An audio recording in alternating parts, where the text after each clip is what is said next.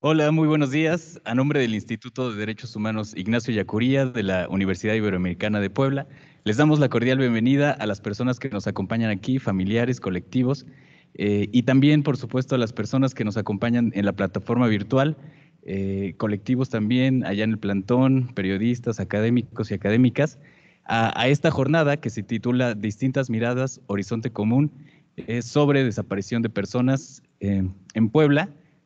Como ya habíamos mencionado la semana pasada, esta se compone de diferentes mesas que tratan eh, distintas perspectivas, experiencias, eh, herramientas sobre cómo afrontar la desaparición em, eh, de personas. Y precisamente el día de hoy hablaremos sobre el protocolo homologado de búsqueda de personas. Em, para ello nos estarán acompañando mi compañera Blanca del Fray Juan de Larios y Joseph de abogado litigante y de manera virtual nuestra compañera eh, Volga de Pina Ravest. Eh, para ello, eh, pues me gustaría comentarles que este protocolo se publicó el año pasado, a finales de, del año, y sirve de herramienta jurídica para exigirle a las autoridades que cumplan con sus obligaciones. Y, y bueno, sin más por el momento, damos inicio a esta mesa del día de hoy. me gustaría presentar primero a Joseph Irwin Olit Aranda. Él es eh, abogado por la Universidad de Guadalajara, es maestrante en Derecho Procesal Penal por la Universidad Nueva España, ha sido director del área jurídica de civilidad para transformar, es, ha sido secretario de la agencia en la Fiscalía General del Estado, defensor público de la Procuraduría Social del Estado de Jalisco y agente del Ministerio Público de la Fiscalía Especial en Personas Desaparecidas del Estado de Jalisco y actualmente es integrante litigante del despacho de Toro Carazo. Muchas gracias, Joseph. Te cedo la palabra. Bien, eh, pues antes que nada agradecerles a ustedes por la invitación, por, generar este tipo de foros. Yo creo que es muy pertinente, eh, sobre todo pues para aportar experiencias que se dan desde diferentes lugares, desde diferentes estados. Y, bueno, pues entrando al tema, como ya lo adelantabas tú, el protocolo homologado de búsqueda fue eh, expedido el año pasado tras un complejo este, proceso para, para su elaboración, para su generación. Creo que la parte más importante es que se le haya dado voz a los colectivos, a organizaciones de la sociedad civil y pues que se haya escuchado a diversos especialistas para integrar ese protocolo. Eh, es un protocolo que de antemano no es perfecto, eh, tiene todavía algunos aspectos que se pueden y deben de trabajar, pero este, creo que al menos en términos generales es un gran paso que se da luego del 2017 cuando se expidió la ley, tardó este, pues, casi más de tres años, pero pues bueno, al menos ahora ya hay esa herramienta. Algunos aspectos generales que, que yo deseo comentar es que el protocolo deriva de la propia disposición que establece la ley general en materia de desaparición forzada de personas, de desaparición cometida por particulares y del Sistema Nacional de Búsqueda. En términos llanos, ¿qué es lo relevante de que se deba expedir un protocolo? Bueno, pues puede haber posturas encontradas. Eh, habrá este, alguna postura en la que se maneje que los protocolos de pronto generan eh, pues mecanismos muy forzados para la actuación de los servidores públicos y que de pronto se dejan de considerar las variantes que existen en cada uno de los casos, pero también podrá haber a lo mejor posturas en las cuales eh, podamos decir nosotros que el protocolo pues le da cierta luz a los servidores públicos para que sepan cómo actuar en cada uno de los habrá este, cualquiera de esas dos posturas y a lo mejor posturas intermedias. Yo creo que lo más rescatable en esta parte es que pues tenemos que tomar en consideración que lamentablemente en nuestro país muchas de las instituciones hace falta capacitación, a pesar de que hay bastantes leyes en donde se habla de especialización, de capacitación constante, de ciertas aptitudes que deben de tener los servidores públicos, pues no necesariamente se cumple. Entonces de pronto pues el protocolo se convierte en un sustituto de esa preparación porque pues se genera como una especie de instructivo Hacia los ministerios públicos, hacia el personal que labora en las comisiones de búsqueda, para que sepan exactamente cómo actuar. Eh, al menos esa parte yo creo que es la que podemos rescatar desde un punto de vista positivo, pero también habrá algunos otros aspectos. Yo lo que también tomaría en consideración es este, que tanto la ley general como en este caso el protocolo homologado de cierta manera pueden tener una aplicación retroactiva. Cuando nosotros en el tema jurídico hablamos de retroactivo, dice la Constitución que las leyes no pueden aplicarse de forma retroactiva en contra de las personas, pero sí pueden eh, emplearse a favor, en este caso, pues de garantizar los derechos. Sabemos que en nuestro país, pues al menos desde la década de 1970, el fenómeno de las desapariciones pues ha ido en crecimiento y eh, pues lamentablemente durante gran parte de, este tiempo, pues no hubo las suficientes herramientas, no hubo las suficientes leyes que pudieran ayudar en esos procesos de búsqueda. Ya al menos hasta 2017 y ahora 2020 con el protocolo, pues se tienen bastantes herramientas que incluso pueden ser aplicadas en esas desapariciones de larga data. Entonces, creo que es una parte también bastante positiva. Ahora, hay que tomar en consideración una distinción. El protocolo homologado de búsqueda se enfoca preponderantemente en uno de los objetos en los procesos penales por casos de desaparición, que en este caso yo considero el más importante, que es la localización de la persona desaparecida. Sin embargo, también existe otro protocolo, que es el protocolo homologado de investigación, que en términos generales, pues da un enfoque más de las funciones que realizan las fiscalías para investigar el delito. Yo considero que, eh, pues, eh, en este momento el protocolo homologado de búsqueda ha rebasado ese protocolo homologado de investigación. No existe una armonización en este momento y creo que es algo en lo que se debe de trabajar a futuro. Pero incluso creo que desde un inicio se debió de haber diseñado un solo protocolo para ambos temas. Pero bueno, e, eso sería entrar en, otro punto. Eh, algo que también quería rescatar es el proceso, dentro del proceso de creación, eh, pues eh, es muy conocido porque se, se, ventiló en los medios de comunicación, es algo que incluso la propia Comisión Nacional de Búsqueda lo recriminó. La Fiscalía General de la República mantuvo una oposición constante a, muchos, a muchas de las innovaciones y a muchas de las herramientas de este protocolo. Eh, por ejemplo, una de, las cosas en las que la Fiscalía estaba en contra, por más absurda que parezca, es que la Fiscalía consideraba que no podía reconocerse en el protocolo el derecho de la persona desaparecida a ser buscada, bajo un argumento bastante reduccionista, consistente en que si la persona está desaparecida no puede ejercer sus derechos. A mí me parece pues bastante absurdo ese argumento por no utilizar otro tipo de adjetivos Lamentablemente, la posición que asume la Fiscalía General de la República, creo que lo hemos visto, es una posición que asumen la mayoría de las fiscalías de los estados. En este caso, la FGR fue quien lo hizo público esa postura, pero la verdad es que dentro de muchas fiscalías se replican ese tipo de pensamientos, eh, el tratar de que eh, las víctimas no tengan las suficientes herramientas legales, tratar lo menos posible de presionar al Estado, en este caso a través de las fiscalías, entre otros puntos. Sin embargo, afortunadamente, eh, la mayoría de las eh, oposiciones que tuvo la Fiscalía General de la República no fueron tomadas en consideración y este, pues sí se retomaron varios de esos puntos en el protocolo. en este caso, ya hablando de algunos aspectos principales, al menos para la postura legal, lo que yo considero más relevante es que de pronto cuando nosotros presentamos una denuncia por desaparición o un reporte por desaparición en las, en las comisiones de búsqueda, eh, pues de pronto se vuelve un poco complicado el tratar de justificar las líneas de investigación que nosotros consideramos. Sabemos que, pues en términos generales, por lo que dicen los diferentes tratados internacionales, por lo que dice la propia ley, pues sería una, obligación de la autoridad, pero esa obligación cómo se ejerce, a través de qué acciones en específico se ejerce. Esa es la parte que resulta un poco compleja. Cuando se implementa el protocolo, como se establecen una serie de acciones que se tienen que realizar sí o sí y otros eh, lineamientos generales para algunos casos en particular, pues entonces esto se vuelve una función más sencilla para que las víctimas puedan ejercer sus derechos. Por ejemplo, si hoy en día suponiendo que no existiera el protocolo, quisiéramos solicitar un acto de investigación en específico al Ministerio Público, por ejemplo, la famosa sábana de llamadas, que en términos jurídicos se llama solicitud de datos conservados, nosotros tenemos que decirle al Ministerio Público por qué es pertinente, por qué es útil, por qué es conducente, por qué es legal, entre otros puntos y terminamos haciendo nosotros la labor de justificación que tendría que hacer el Ministerio Público de oficio.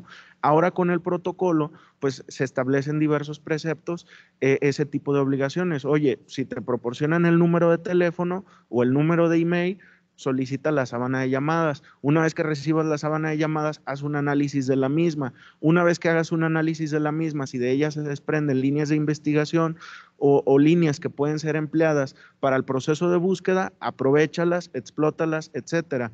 Entonces, esa es la parte que se volvió un poco más sencilla, porque en lugar de que yo le tenga que justificar al Ministerio Público, eh, considero que es pertinente por esto, esto, esto y esto, no, ya nada más decirle, oye, ¿sabes qué? Pues está en el protocolo, tú debes de, aplicarlo oficiosamente, sin que yo te lo pida, sin que yo te esté insistiendo, son aspectos que tú tienes que tomar en consideración. Yo es una parte que resaltaría mucho porque algo que ocurre en muchas fiscalías es que de pronto los criterios que se toman por, por, los abogados suelen ser de pronto criterios muy, muy absurdos en muchos de los casos. Eh, en muchas de las ocasiones los servidores públicos tratan de imponer la opinión personal que tienen y no el conocimiento jurídico que puedan tener y anteponen esa opinión para negarte el ejercicio de ciertos derechos. Algo que, por ejemplo, también ocurre comúnmente, el tema de las copias. Oye, quiero que me expidas copias. No, es que es información reservada. Y si nosotros nos vamos al artículo del Código Nacional de Procedimientos Penales que habla de la información reservada, dice que a la víctima no se le puede reservar esa información, sino que la reserva es frente a terceros e incluso en el caso los propios imputados.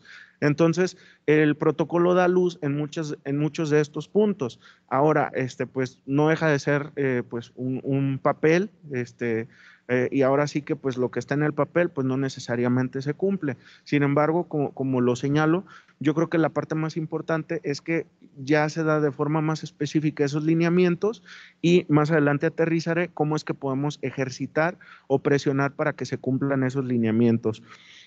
Otro de los puntos que yo destaco es el de las autoridades vinculadas. Eh, anteriormente, eh, pues se sabía que de pronto pues había ciertas autoridades como este, las propias fiscalías y las comisiones de búsqueda. Pero ¿qué pasaba con otras instituciones? Por ejemplo, Secretaría de Relaciones Exteriores, Instituto Nacional de Migración, cuál era la función que ellos tenían que realizar en estos casos, Procuraduría de Protección de Niñas, Niños y Adolescentes, etcétera. Entonces, el protocolo ya le establece obligaciones específicas a cada una de las autoridades, que son obligaciones que tienen que cumplir de forma permanente y constante, y en algunos casos en particular, pues también habrá que realizar acciones en particular. Entonces, eh, esa es la parte que yo resaltaría del protocolo. No quería adentrarme tanto en explicar cuáles son cada una de las etapas del protocolo, eh, sino más bien resaltar como, como esas bondades. Ahora, en cuanto a la defensa legal, este, ¿cómo, cómo podemos eh, obligar a las autoridades, presionar a las autoridades para que se cumpla el protocolo? Y ojo, no solamente que se cumpla el protocolo, si nosotros fuera del protocolo tenemos ideas, peticiones que puedan resultar incluso más garantistas o que no estén establecidas en el protocolo, eso no significa que no podamos hacerlas, también podemos hacerlas. Aquí la parte más importante es el tema de la coadyuvancia. Eh, lamentablemente, este, por, por la idiosincrasia que existe dentro de las instituciones, como lo he señalado, no debería de ser así. La autoridad debería de actuar oficiosamente en cuanto le llegue una denuncia e instar todo el procedimiento. Pero con la situación actual, la coadyuvancia se vuelve una herramienta muy fundamental. ¿Qué, es la coadyuvancia? Pues que nosotros estemos presionando. Eh, y, presionar eh, ya no solamente a lo mejor desde fuera de la institución, sino este, internamente.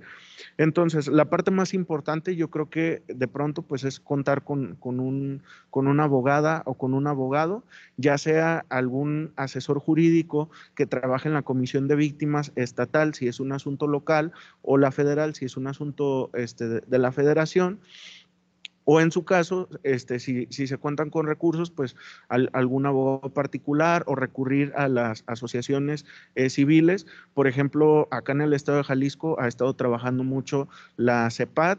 Eh, tengo entendido que hay otros estados donde ha estado trabajando ideas, entonces aprovechar e, esos canales y que eh, pues incluso ellos van adquiriendo distinta experiencia que puede ser de gran utilidad.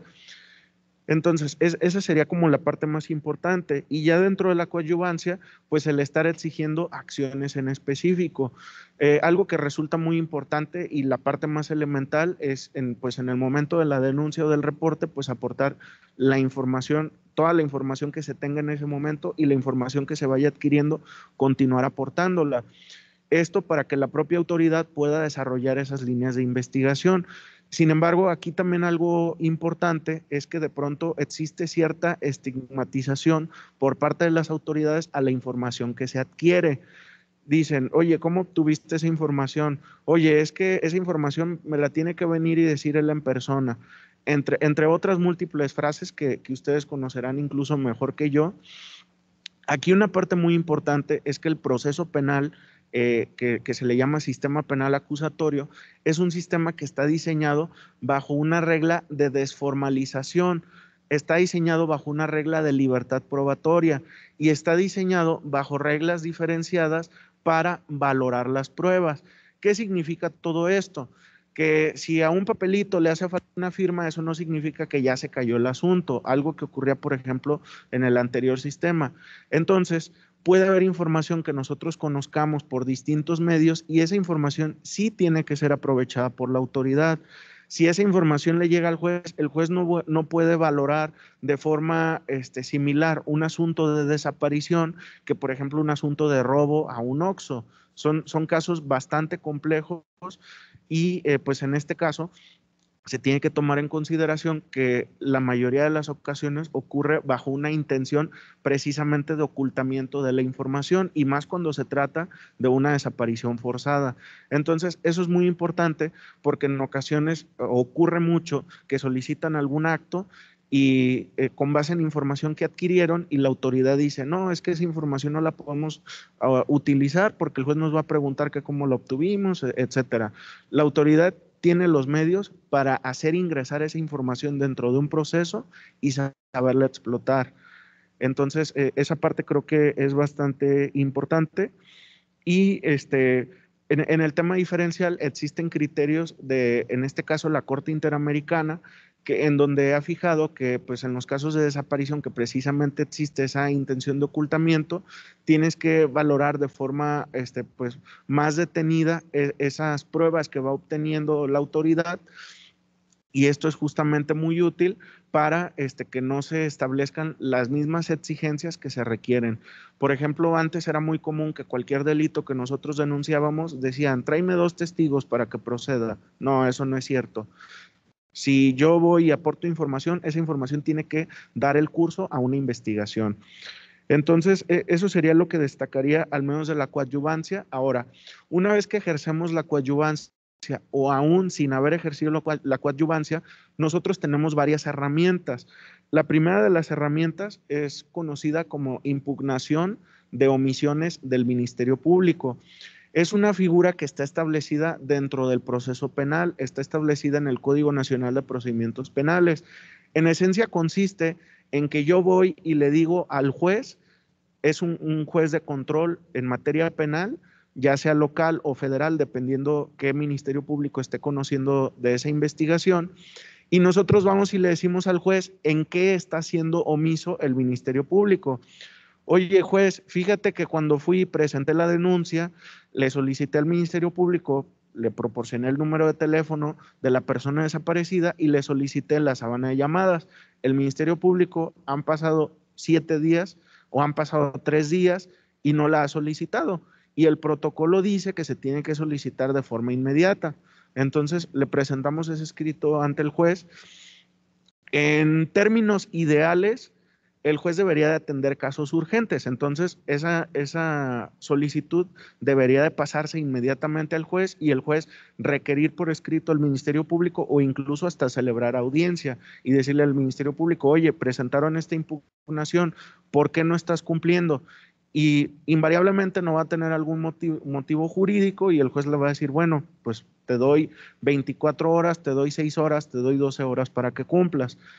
Mencionaba que en términos ideales, porque lamentablemente, por ejemplo, en Jalisco ya se volvió muy común que los jueces ponen este, estas, este tipo de audiencias, las programan con tiempo muy prolongado, 15 días, un mes, seis meses, dependiendo del tipo de petición. No debemos dejar que los jueces se acostumbren a eso. Eh, los jueces tienen que aprender a distinguir cuáles son las peticiones urgentes y cuáles no, y evidentemente estas son peticiones urgentes.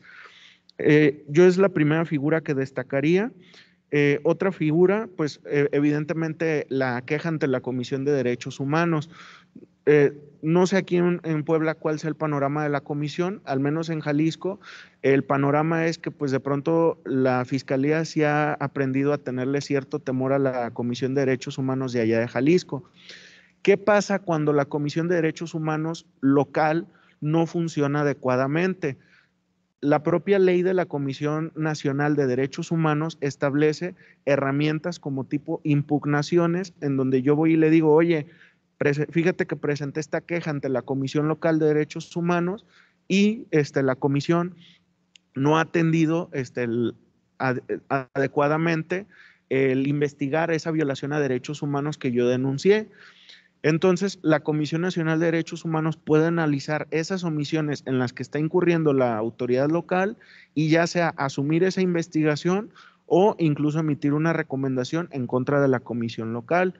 Entonces, este, también para, para que tengamos en consideración eso, eh, porque pues de pronto también las comisiones, como no tienen esa, esa fuerza coerciva sobre las autoridades, pues se vuelve muy complicado el que, el que puedan forzarlo a, a ciertas cosas.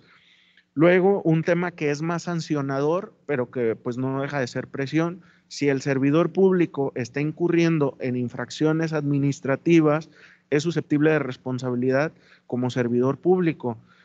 Si está cometiendo incluso delitos, pues es susceptible de responsabilidad penal.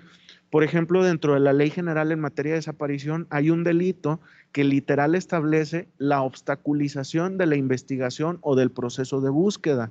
Los servidores públicos pueden cometer ese delito y si lo cometen, pues hay que sancionarlos para purificar las instituciones.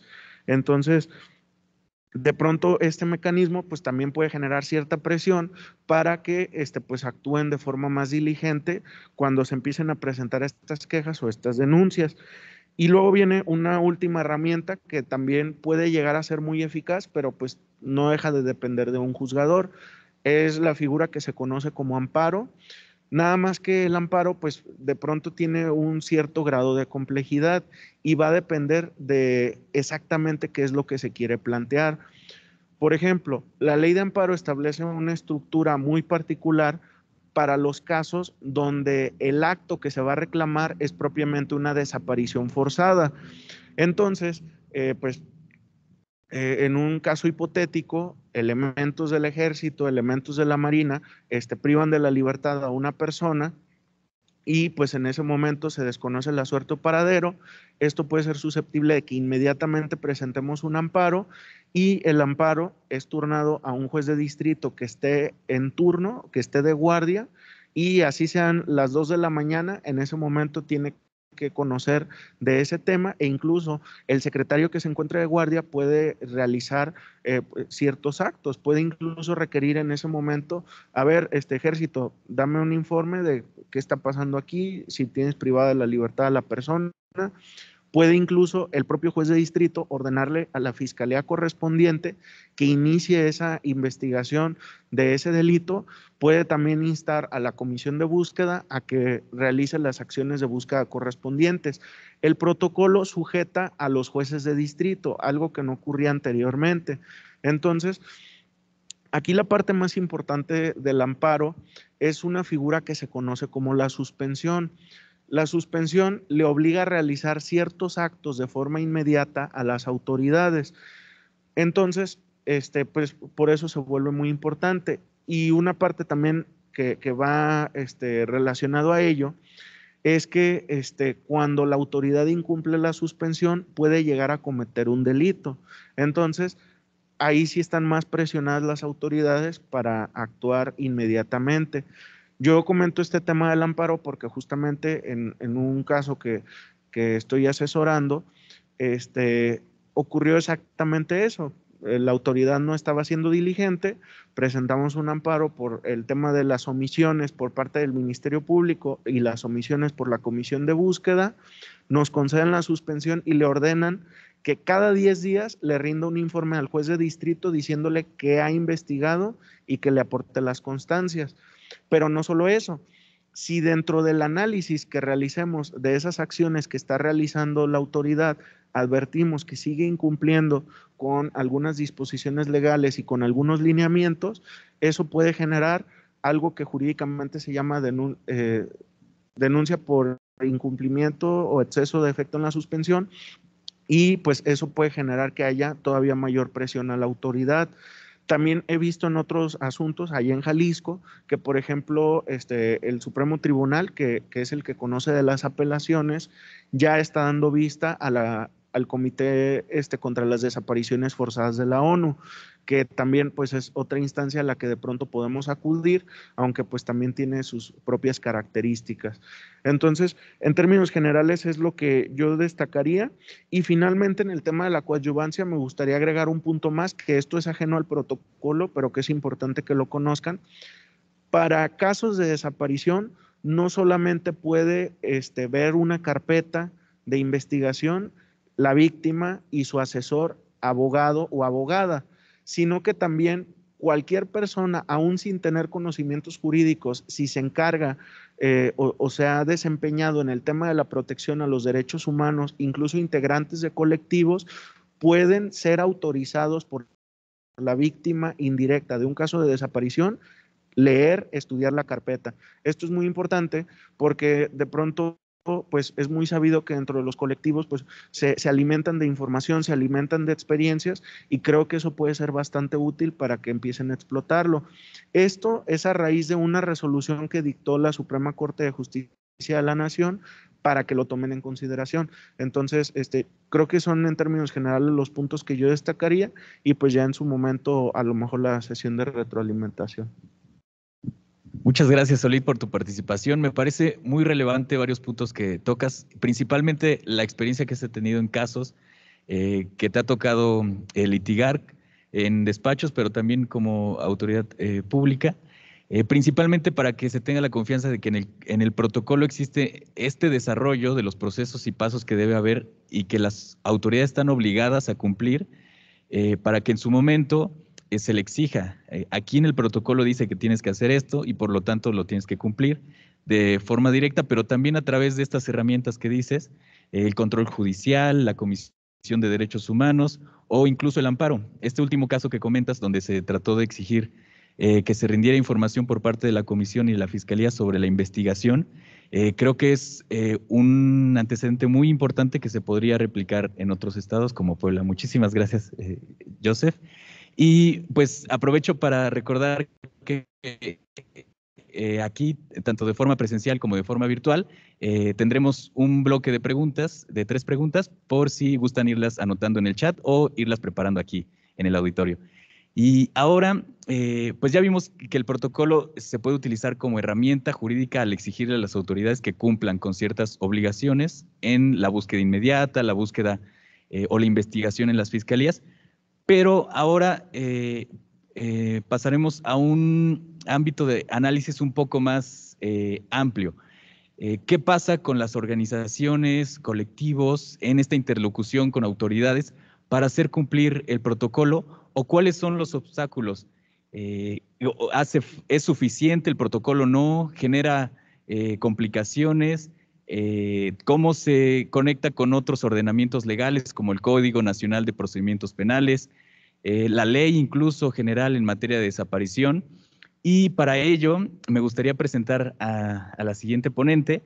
Ella es Blanca Isabel Martínez Bustos. Tiene más de 35 años de experiencia en proceso de educación, comunicación popular y acompañando procesos de organización social y de defensa de derechos humanos. A partir de agosto del 2009, eh, es directora y representante legal del Centro Diocesano para los Derechos Humanos Fray Juan de Larios, AC en Saltillo, Coahuila. También ha sido asesora de Fuerzas Unidas por nuestros desaparecidos en Coahuila y México, desde su integración en diciembre en, el 2009 e impulsora y asesora del movimiento por nuestros desaparecidos en México. Muchas eh, gracias, Blanca, y te cedo la palabra. Bueno, pues buenas tardes, compañeras, compañeros, y bueno, muchas gracias también aquí a la Ibero por abrir estos espacios, ¿no? Y abrir sobre todo, sobre todo, ahora sí que su casa a las familias. Yo creo que una realidad con la que se han topado todas las familias que desgraciadamente están viendo esta tragedia es el cierre de todas las puertas, ¿no? Eh, se les ha tratado y se les sigue tratando como como las nuevas leprosas, ¿no? De este tiempo. Y es muy importante, es muy importante en congruencia también de el espíritu de esta universidad que acojan a las compañeras, compañeros y que las acompañen en el caminar de la búsqueda, ¿no? Este, bueno, pues ya este, me presentaba brevemente Roberto. Yo vengo de Coahuila, eh, tengo desgraciadamente varios años ya trabajando acompañando a organizaciones de familiares como ustedes que tienen a sus seres queridos desaparecidos.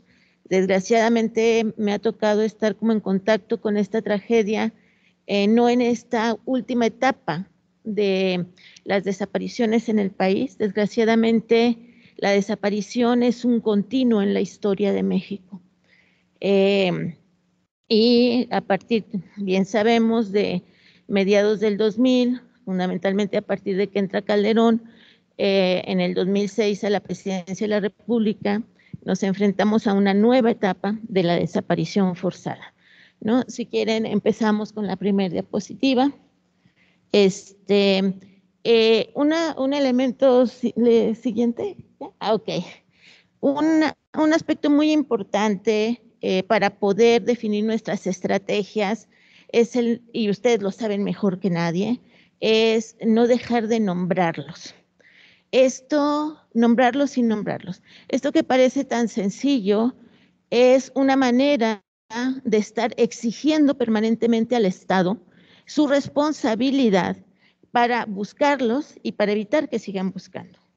Desgraciadamente un componente de la desaparición es eso, no dejar dato, no dejar registro de las personas que desaparecieron. En 1969 es el primer registro que se tiene en el país. Imagínense, 1969. ¿no? Este, y tenemos cantidad de hombres y mujeres desaparecidos previos, ¿no? El profesor Epifanio Avilés, que lo desaparecen en Altamirano Guerrero, este, la última vez que lo vieron fue en manos del ejército. Eh, una cosa que es bien importante rescatar, que desgraciadamente esta historia de la desaparición en México es algo que se intenciona se intenciona para desaparecer, aniquilar a enemigos políticos o en eh, uno de los componentes que se está dando en nuestro país en los últimos dos decenios es para controlar a la población vía el terror. Es un mecanismo privilegiado para poder tener sometida a la gente. Y desgraciadamente es algo que estamos viviendo en nuestro país y que no termina. Pasamos la que sigue. Vamos a nombrar algunos y algunas de las compañeras, compañeros que fueron desaparecidos en un mes de agosto. Igual y también vamos a ir trayendo a la memoria y a este espacio eh, a sus desaparecidos en diferentes momentos de la presentación. El pasado 5 de, agosto desaparecieron a Vicente Suástegui Muñoz, eh, de una organización en Guerrero que lucha contra la presa de la parota, que tienen ya muchos años luchando por su territorio y recientemente fue desaparecido el 5 de agosto de este año. Eh, también Iván Baruch Mendieta el 7 de, agosto, un 7 de agosto del 2010. Jonathan Maldonado Silos, hoy cumple 10 años de desaparecido. Cristian Karim Flores Huerta, ayer cumplió 10 años de desaparecido también en Coahuila. Luis Carlos Burciaga Ramos, un 17 de agosto, Gualberto Gerardo y Esteban Acosta, junto con eh, Brandon Acosta, que tenía nueve años cuando lo desaparecieron. Sergio Rivera de Puebla, que están luchando aquí contra la implementación, implantación de las termoeléctricas, que también fue desaparecido recientemente. Tomás Pérez Francisco, que lo desaparecieron el primero de mayo de 1970 por defender su tierra aquí en Pantepec, en Puebla. Este, también están en este continuo de la historia más de bueno, 553 personas que siguen buscando las madres de Eureka desde los finales de los 60. También está Pedro, Murcia, Alfonso, Héctor y Manuel de las Fuerzas de Liberación Nacional, desaparecidos en 1974. Entonces, esta es parte de la historia de la tragedia en nuestro país y de los que seguimos y seguiremos buscándolos, ¿no? Una de las objetivos, si quieres pasamos la siguiente, me gustaría leer nada más esta reflexión. El 9 de agosto fue el Día Internacional de los Pueblos Indígenas y este, el compañero Guadalupe Pérez, que es hijo de Francisco Pérez Rodríguez, que desapareció aquí en Puebla en, en 1970, nos compartió esta reflexión. Dice, en Día Internacional de los Pueblos Indígenas y todos los días seguimos preguntando en dónde están nuestros desaparecidos. Pero nunca le pregunté a mi madre cómo transcurre la vida cuando los soldados se llevan al marido. Cómo se enfrenta lo cotidiano con la incertidumbre tras los pies a cada paso. Con qué palabras se explica a los hijos qué es un desaparecido. Con qué unidad se mide la ausencia. Los días oscuros, los oficios sin respuesta. Cómo nombrar de un solo golpe las ciudades recorridas buscando un rostro los espíritus consultados para tener indicios de dónde encontrar un desaparecido. Irma Pineda, Santiago. Creo que estas y muchas palabras más eh, que brotan del corazón y de la fuerza de las mujeres y de todos los familiares que buscan, pues nos expresa la lucha permanente y siempre la apuesta y la esperanza de seguir encontrando. Eh, siguiente. Nada más voy a dar algunos datos. ¿Por qué, ¿Por qué pongo estos datos? Eh, escuchando al compañero, em, hay cosas que son de sentido común y que no necesitamos haber estudiado mucho para poder hacerlas. Pero por ahí dice un compañero, el sentido común es el menos común de los sentidos, ¿no? Entonces, los protocolos, desgraciadamente, se han convertido casi que una pandemia, ¿no? todo lo quieren resolver con protocolos, ¿no? Cuando hay cosas que son elementales y que se tendrían que hacer sin necesidad de que tengas 139 páginas, como es la cantidad de fojas de la publicación del diario oficial. Eh, se supone que el protocolo debía ya de estarse implementando y debería ya mostrar datos de efectos mínimos, ¿no? Eh, pongo aquí nada más algunos datos de, eh, desgraciadamente, la cantidad de personas desaparecidas en nuestro país.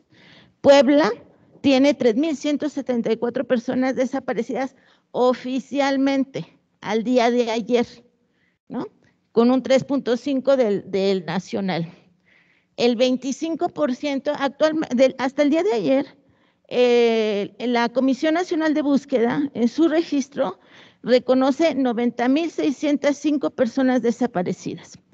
25% de ellas son mujeres y niñas y niños, adolescentes, niñas eh, y, menores de edad, digamos, ¿no? Entonces, estamos en una tragedia que no para, ¿no? Todo nuestro país está manchado de rojo. Pasamos a la siguiente. En el mismo informe semestral del Sistema Nacional de Búsqueda nos da los datos de las fosas clandestinas o campos de exterminio donde se ha trabajado en los últimos años. Y hablan de por lo menos hasta ahorita, hasta junio del 2021, ubicadas 1.315 fosas clandestinas, donde se han recuperado 3.025 número mínimos de personas ubicadas en esos lugares pero solo se ha entregado el 27% de ellos. O sea, de 3.025, solo se han podido regresar a casa a 822 personas. A la fecha no hay datos oficiales porque las fiscalías no quieren dar la información y aquí hay que preguntarnos por qué no dan la información, ¿no? ¿Qué, ¿Qué, puede significar el que se tenga la información para buscar? Entonces, a la fecha no sabemos cuántos cuerpos bajo custodia se tienen las fiscalías. Hace dos años, eh, un, equipo de investigadores, periodistas investigadores, lograron recuperar información oficial y a finales del 2019 decían que por lo menos había 38.892 cuerpos sin identificar en las fiscalías de los estados y un número incuantificable de fragmentos de restos eh, que, nadie sabe. Solo en Coahuila hay cerca de mil personas sin identificar, solo en Coahuila, que somos un estado bien chiquito.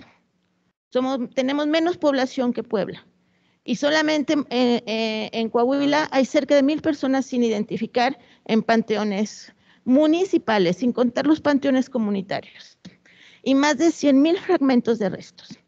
En Nuevo León, solamente en dos lugares donde han intervenido las compañeras de Fuerzas Unidas, pues nuestros desaparecidos en Nuevo León, han recuperado cerca de 250 mil fragmentos, ¿no? Y no sabemos qué pasa con ellos, ¿no? Entonces estamos en una crisis eh, de dimensiones de una guerra. Eh, ¿Seguimos? Eh, les, les, vamos a, les voy a dejar el, el PowerPoint si lo, si lo quieren. Quise poner estas tablas que son de la Comisión Nacional de Búsqueda, porque hice un comparativo hace el día 5, revisé la página y anoche la volví a revisar.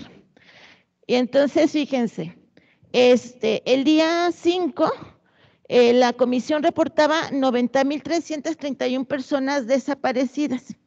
Al día de anoche ya eran 90.605, ¿no? 431 personas más reportadas eso quiere decir 61 personas por día desaparecidas en nuestro país, ¿no? Y sin vida han sido localizadas 112 en siete días. O sea, esto no, no puede, o sea, eh, o sea, no, no puede, no debería de seguir siendo y estando. Sin embargo, pese a que tenemos instituciones, protocolos, leyes, esto no para.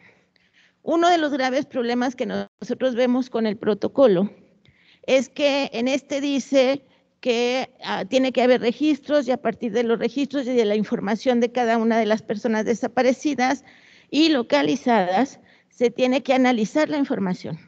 Y entonces nos ponen datos tan amplios como dicen, en total en el país este, han desaparecido desde el, desde el 64 222.396 personas de las cuales se han encontrado 132 mil. Entonces, políticamente, el Estado juega con las cifras y por lo tanto con las personas. Y te dice, fíjense qué tragedia, 222 mil personas desaparecidas, pero ya encontramos 132. Y nunca nos dicen cuáles son las características de las personas que fueron localizadas para entender la naturaleza de la desaparición y poder hacer estrategias de búsqueda u otras estrategias, porque quizás nos estamos enfrentando a otros fenómenos sociales. Eso yo no he visto ningún informe, pese a que en el protocolo te dicen, tienes que decir de las personas localizadas con vida y sin vida, es por qué desaparecieron y cómo las encontraste para que de ahí aprendamos y podamos hacer estrategias de búsqueda o atender otras problemáticas. Por ejemplo, ahorita en el tiempo de pandemia nos ha tocado, ustedes también se habrán dado cuenta, muchos adolescentes que están hasta la madre, este, porque la situación en las condiciones en las que viven, el no tener condiciones para estudiar, la pobreza, bla, bla, bla, salen, pero en chinga de su casa que ya no aguantan estar encerrados. Pero como hay una situación grave de desaparición, mientras son peras o son manzanas, hay que buscarlos. Pero esa es otra, otra cosa y hay que atenderla. Hay que atender la pobreza, la marginación de nuestros pueblos y eso implica otra estrategia de gobierno. ¿no? Pero entonces hay una manipulación de las cifras donde dicen, miren qué efectivos somos. Estamos buscando. Pasamos a la que sigue. En Coahuila empezamos a trabajar y a buscar en el 2009 y desde 2009 nos dijeron que había cerca de 6 mil desaparecidos. y luego como a los seis meses nos dijeron, ya nada más hay como como mil de juego entre seis mil, mil quinientos, a la fecha hay cerca de tres mil personas desaparecidas. O sea, no, no cambian, nada más juegan a que miren cómo que hago, ¿verdad? Este, un elemento fundamental para que el protocolo pueda aplicarse es un registro claro a quienes buscamos, qué características tienen las personas que buscamos y qué características hay en cómo desaparecieron, porque eso son lo que nos da las rutas de búsqueda. Sin embargo, sigue, siendo, sigue habiendo un problema serio de registro.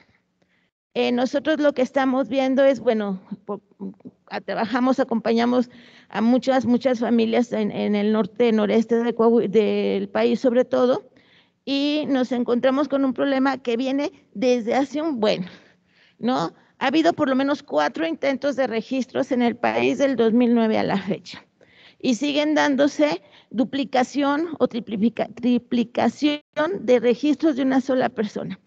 Malos nombres, malos datos de identidad, fechas, lugar de desaparición. Sigue repitiéndose lo que le dijimos a la queda la actual que deberían de cuidar. A la fecha seguimos viendo casos donde les decimos, a ver, este registro está duplicado y están mal los datos además, ¿no? ¿Cuándo lo van a corregir? Pues algún día. Entonces, si no sabes a quién buscas, las instituciones, ¿cómo diablos vas a hacer estrategias? ¿No? ¿Quiénes sí saben a quiénes buscan? Ustedes. ¿No? Y por eso la importancia de los registros ciudadanos, ¿no? Porque el Estado lo que hace es, vamos a jugar a más registro, vamos a hacer otra base de datos súper chingona y no sé qué, y siguen las mismas errores y intencionalidades. Este, ciertamente ha habido participación, yo hubo participación para la construcción del protocolo. Este, en todo lo que nos convocan, las convocan, ustedes están. Y luego al final del día no sabemos por qué no quedó todo y nos dan unos ladrillos este, que es imposible de digerir, ¿no? y de aquí pase a la página 50 y regrese a la primera y luego váyase a la 120 y entonces este, los protocolos, pese a la participación, a la estupenda pedagogía de búsqueda que ustedes han propuesto, no son accesibles, no están en manos de la gente para poder exigir más a las autoridades, ¿no? Este, nosotros vemos un serio problema, ya lo dije antes, en el traslado de información. El protocolo, los protocolos no pueden funcionar si no hay voluntad política. Y la voluntad política pasa porque estén todos los recursos a la mano de quienes buscan, sobre todo de las familias. Y recursos no me refiero solo a lo económico, sino a la información, recursos tecnológicos. En el 2011, compañeras, por ahí de noviembre del 2011, tuvimos una reunión con diputados federales en el contexto del gobierno de que iba a entrar Peña Nieto. En ese tiempo, la Policía Federal ya andaba muy de moda, que andaba buscando y que los ADN. Y invitaron a varias compañeras de Coahuila a visitar las oficinas de la, las instalaciones de la Policía Federal en Ciudad de México. No me digan dónde, estaba muy lejos. Este, pero estaba muy bonito muy limpiecito todo. Y ahí les dijeron a las compañeras, teniendo el número de teléfono, y como la mayoría de los teléfonos ya tenían GPS, decían que casi en tiempo real podían ubicar a una persona. O sea, máximo en dos horas podemos ubicar a una persona en cualquier lugar del mundo. Compañeras, eso nos lo dijeron en noviembre del 2011. Fueron compañeras a ver las instalaciones de Policía Federal, les enseñaron la chingonería de, tecnología que tenían y ahorita tenemos que poner en un protocolo que pidan las sábanas de llamada, que hagan primero esto, que lo escriban así, que no se les olviden los acentos, que ponga punto y coma, para algo que es como ya lo tienen. O sea, ¿por qué tienes que pedirle?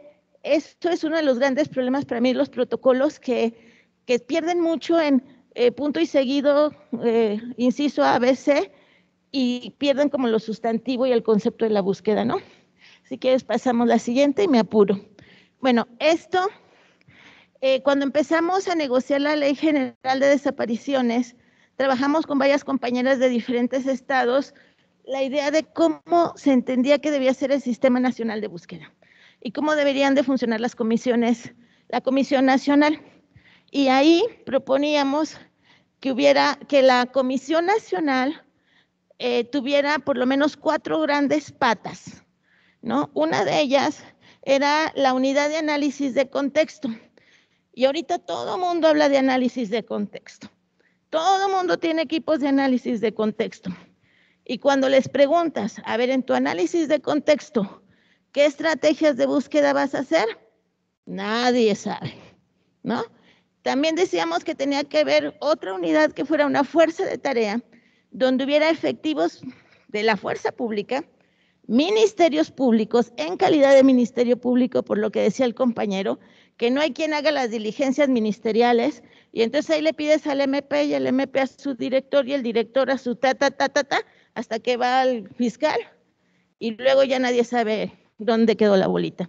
Tiene que haber ministerios públicos asignados a la búsqueda en calidad de ministerio público.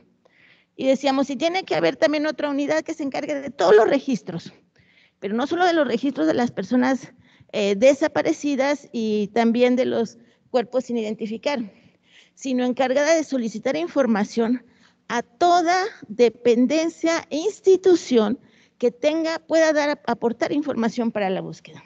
Y eso incluía a instituciones privadas, ¿no? No lo ganamos mucho, pero bueno. Y otra unidad, decíamos, tiene que haber una unidad de identificación forense, porque la búsqueda también implica lo forense. Entonces, digamos que este fue el modelito a partir del cual empezamos a negociar la ley. Si quieren, pasamos la que sigue.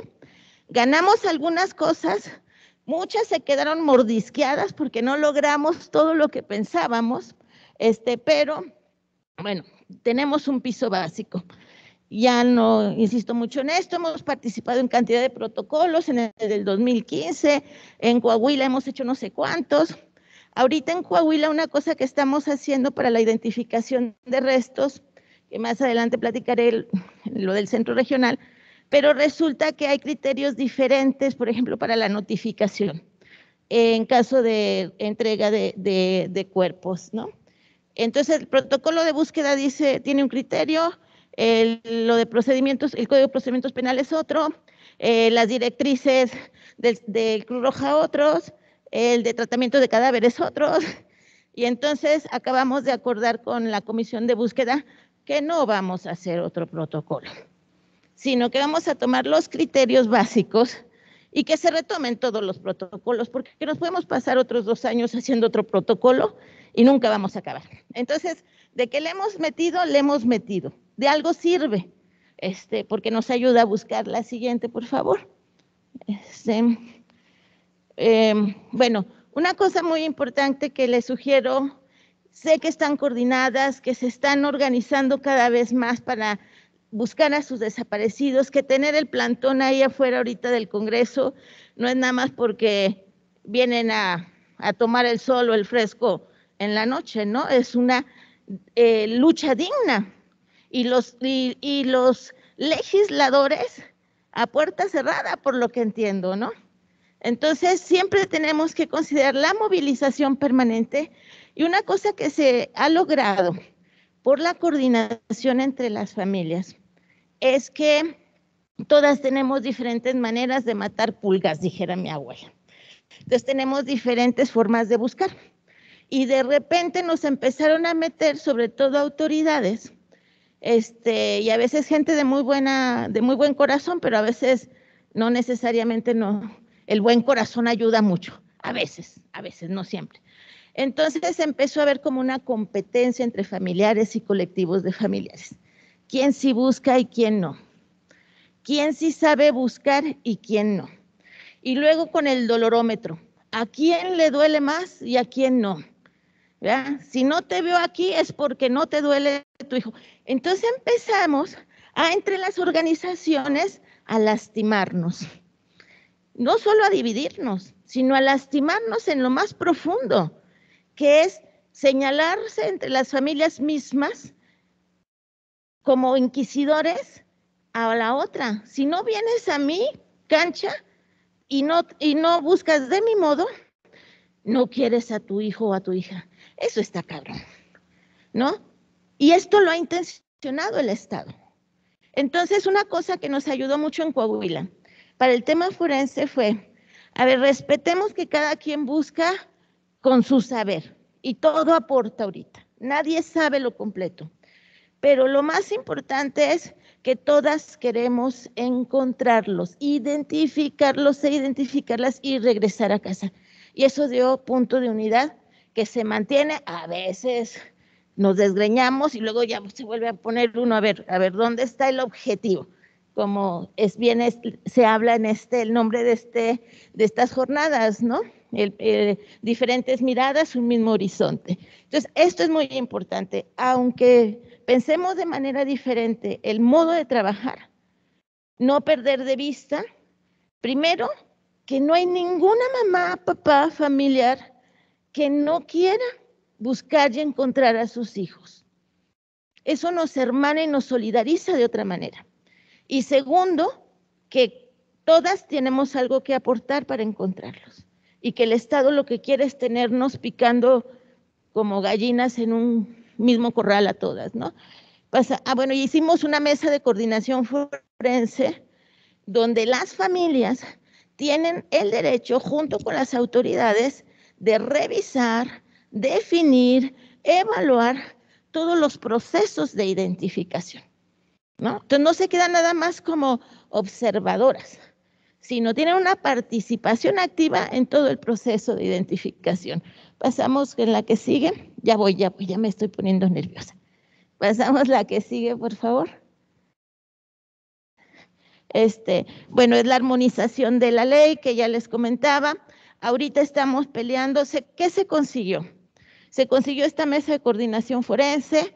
Logramos lo que no se logró a nivel federal, pero luego se logra con el protocolo, el que se asigne una fuerza de tarea de, la Secretaría de Seguridad Pública asignada a la comisión de búsqueda, este, bajo la responsabilidad de la comisión de búsqueda.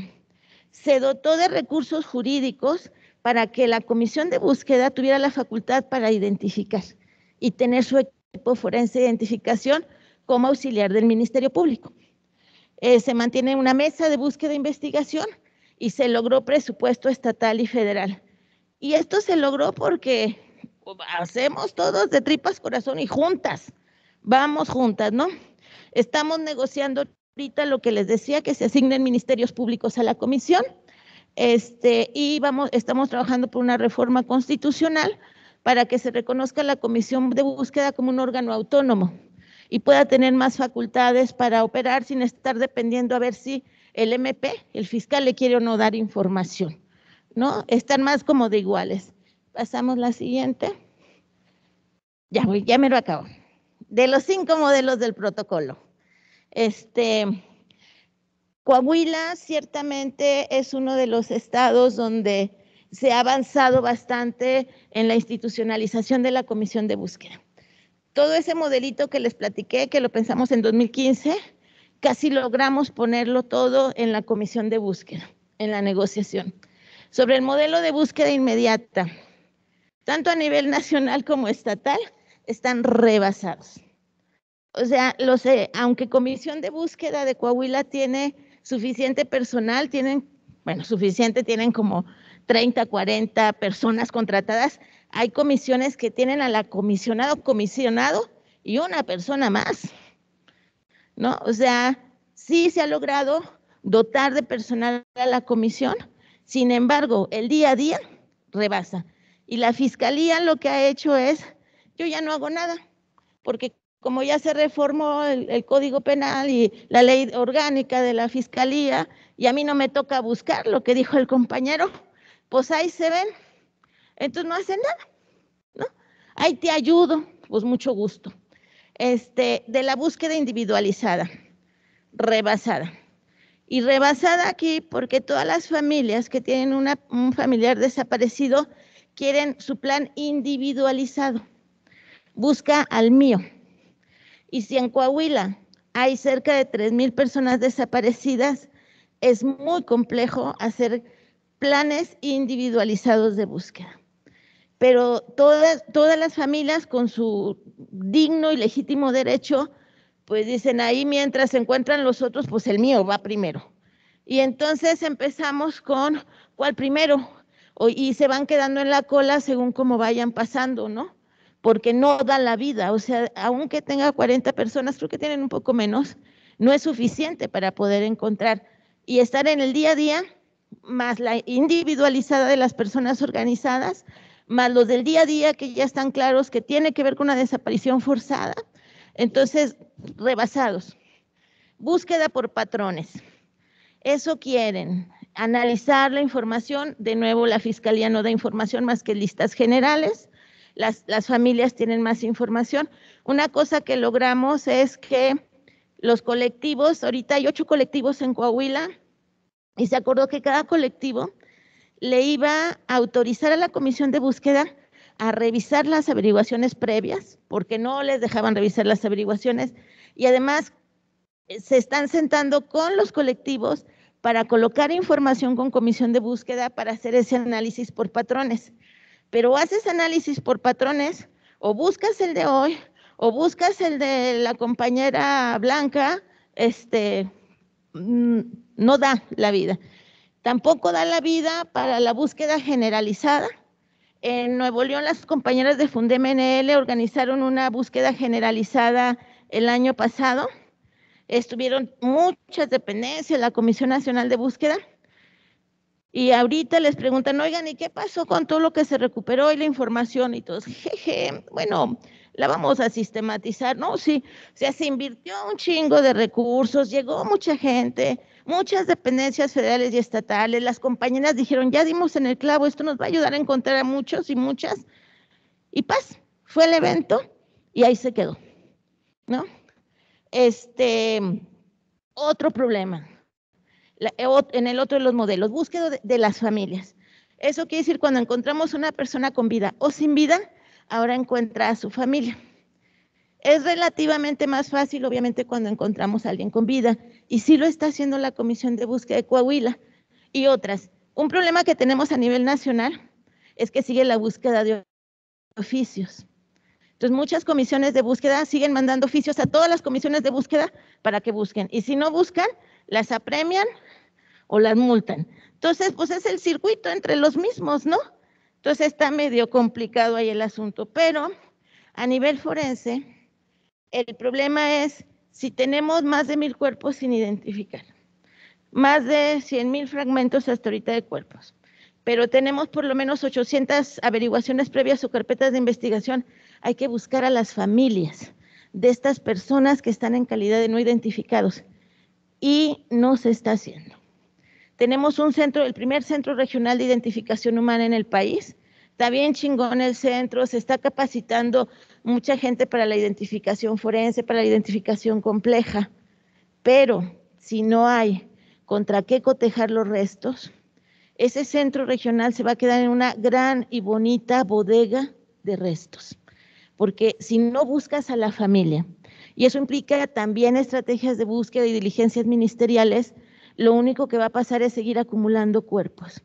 Y eso es uno de los retos en el mecanismo extraordinario de identificación forense, que tenemos más de dos años platicando del mecanismo extraordinario forense y no sabemos cuándo va a empezar a funcionar.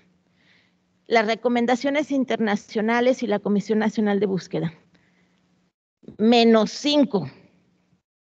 Menos cinco. O sea, se llenan la boca diciendo, ay, sí estamos atendiendo la recomendación del Comité de Derechos Humanos.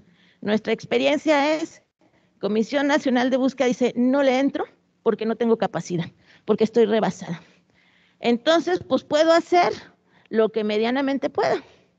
Entonces, los modelos, puedes tener 20 modelos, pero si no se aplican los recursos, si no se destina de ver a los recursos institucionales y económicos, pues queda muy chido.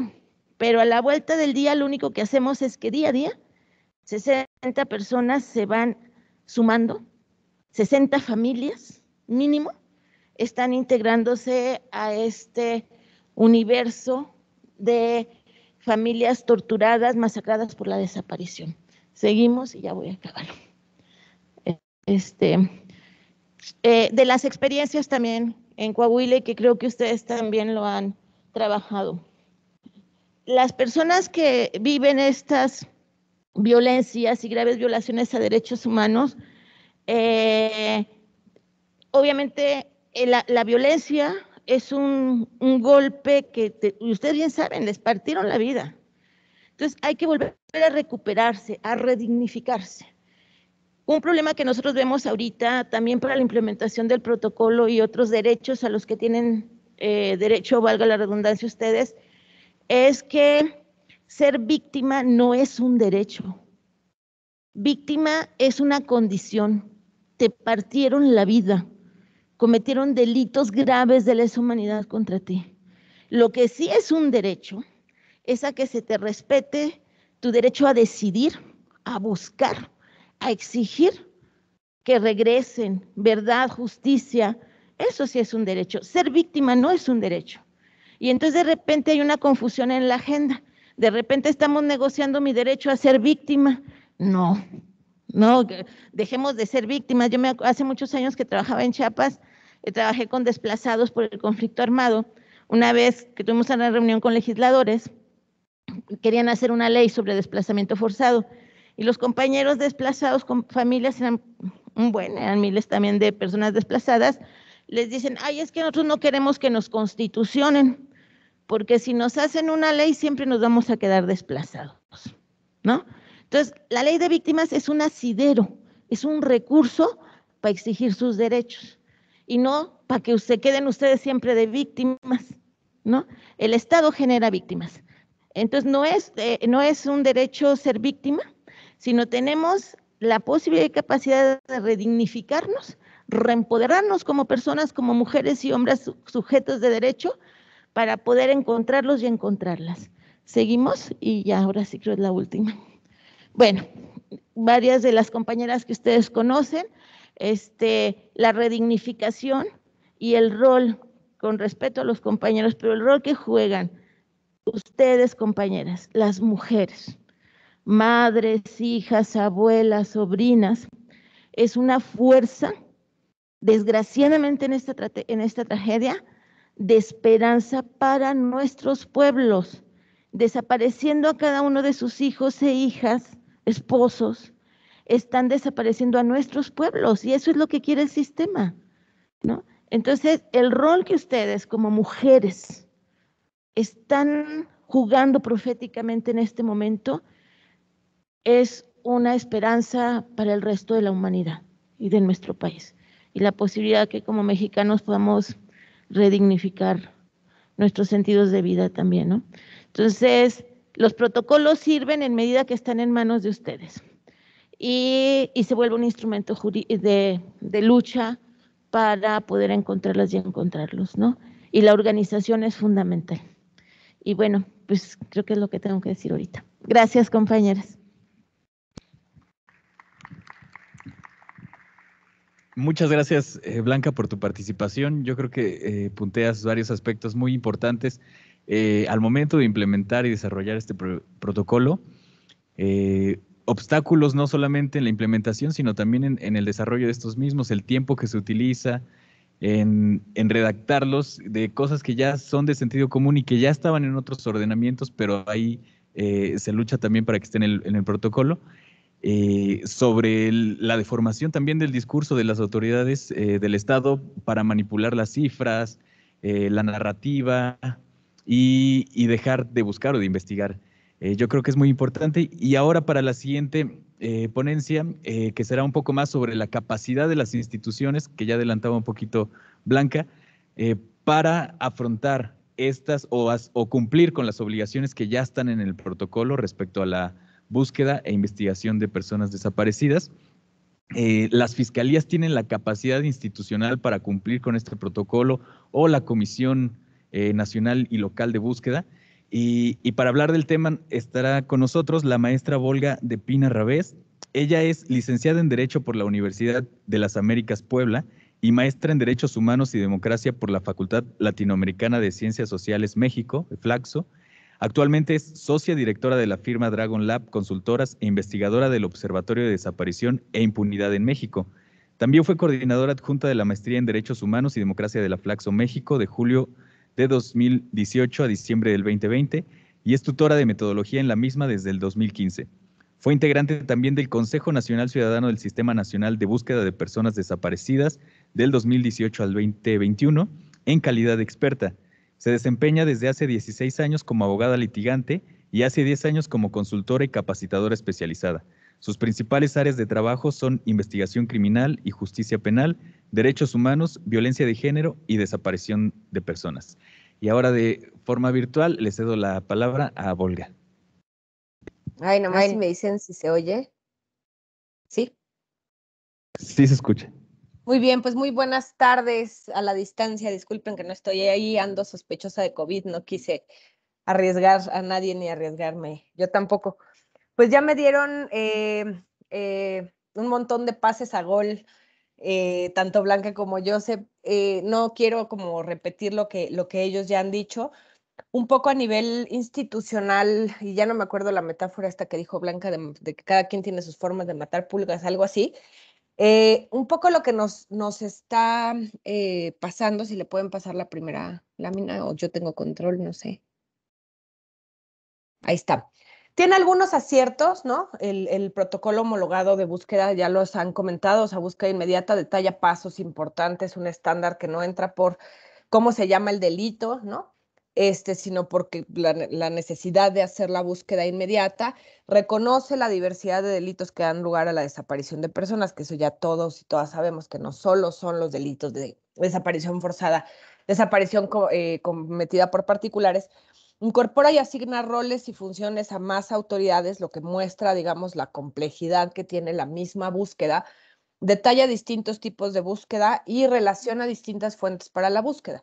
Pero estas que son, digamos, sus fortalezas al mismo tiempo son como sus grandes debilidades, ¿no? Quiero, la, ¿me ponen la siguiente? Tenemos todo un problema em, de, de, de fragmentación, ¿no?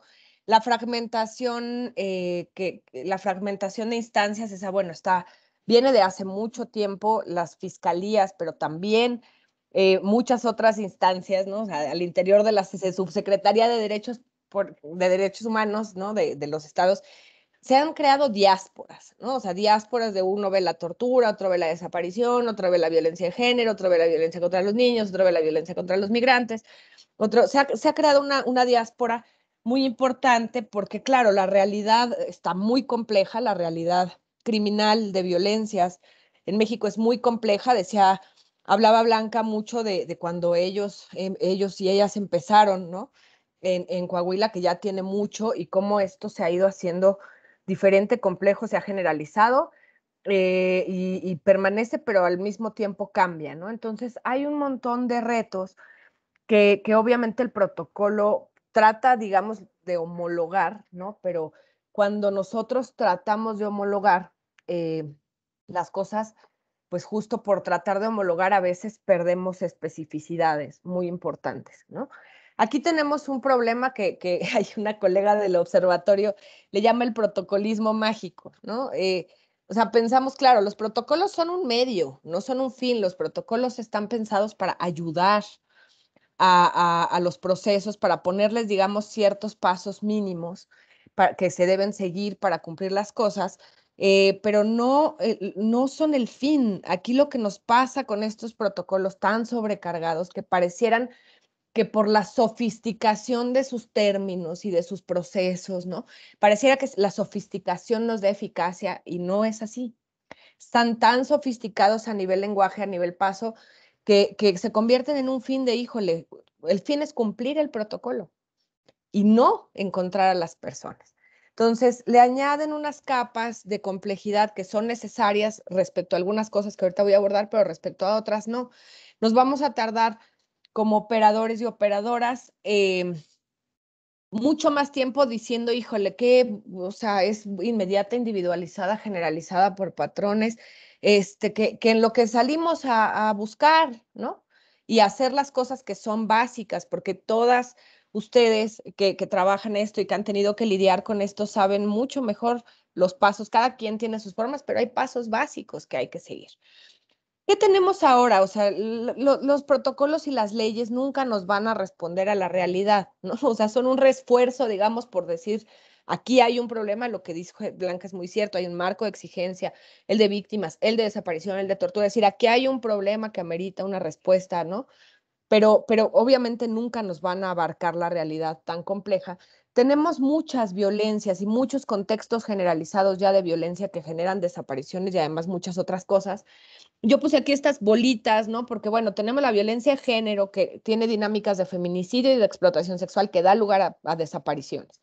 Otras violencias, conocemos las de cárteles, violencia armada, tanto policial, ¿no? O de estatal como no estatal, la violencia policial como una forma muy particular y la violencia hacia niños, digo, por poner algunas, cada una de estas bolitas tiene su sistema de atención, ¿no?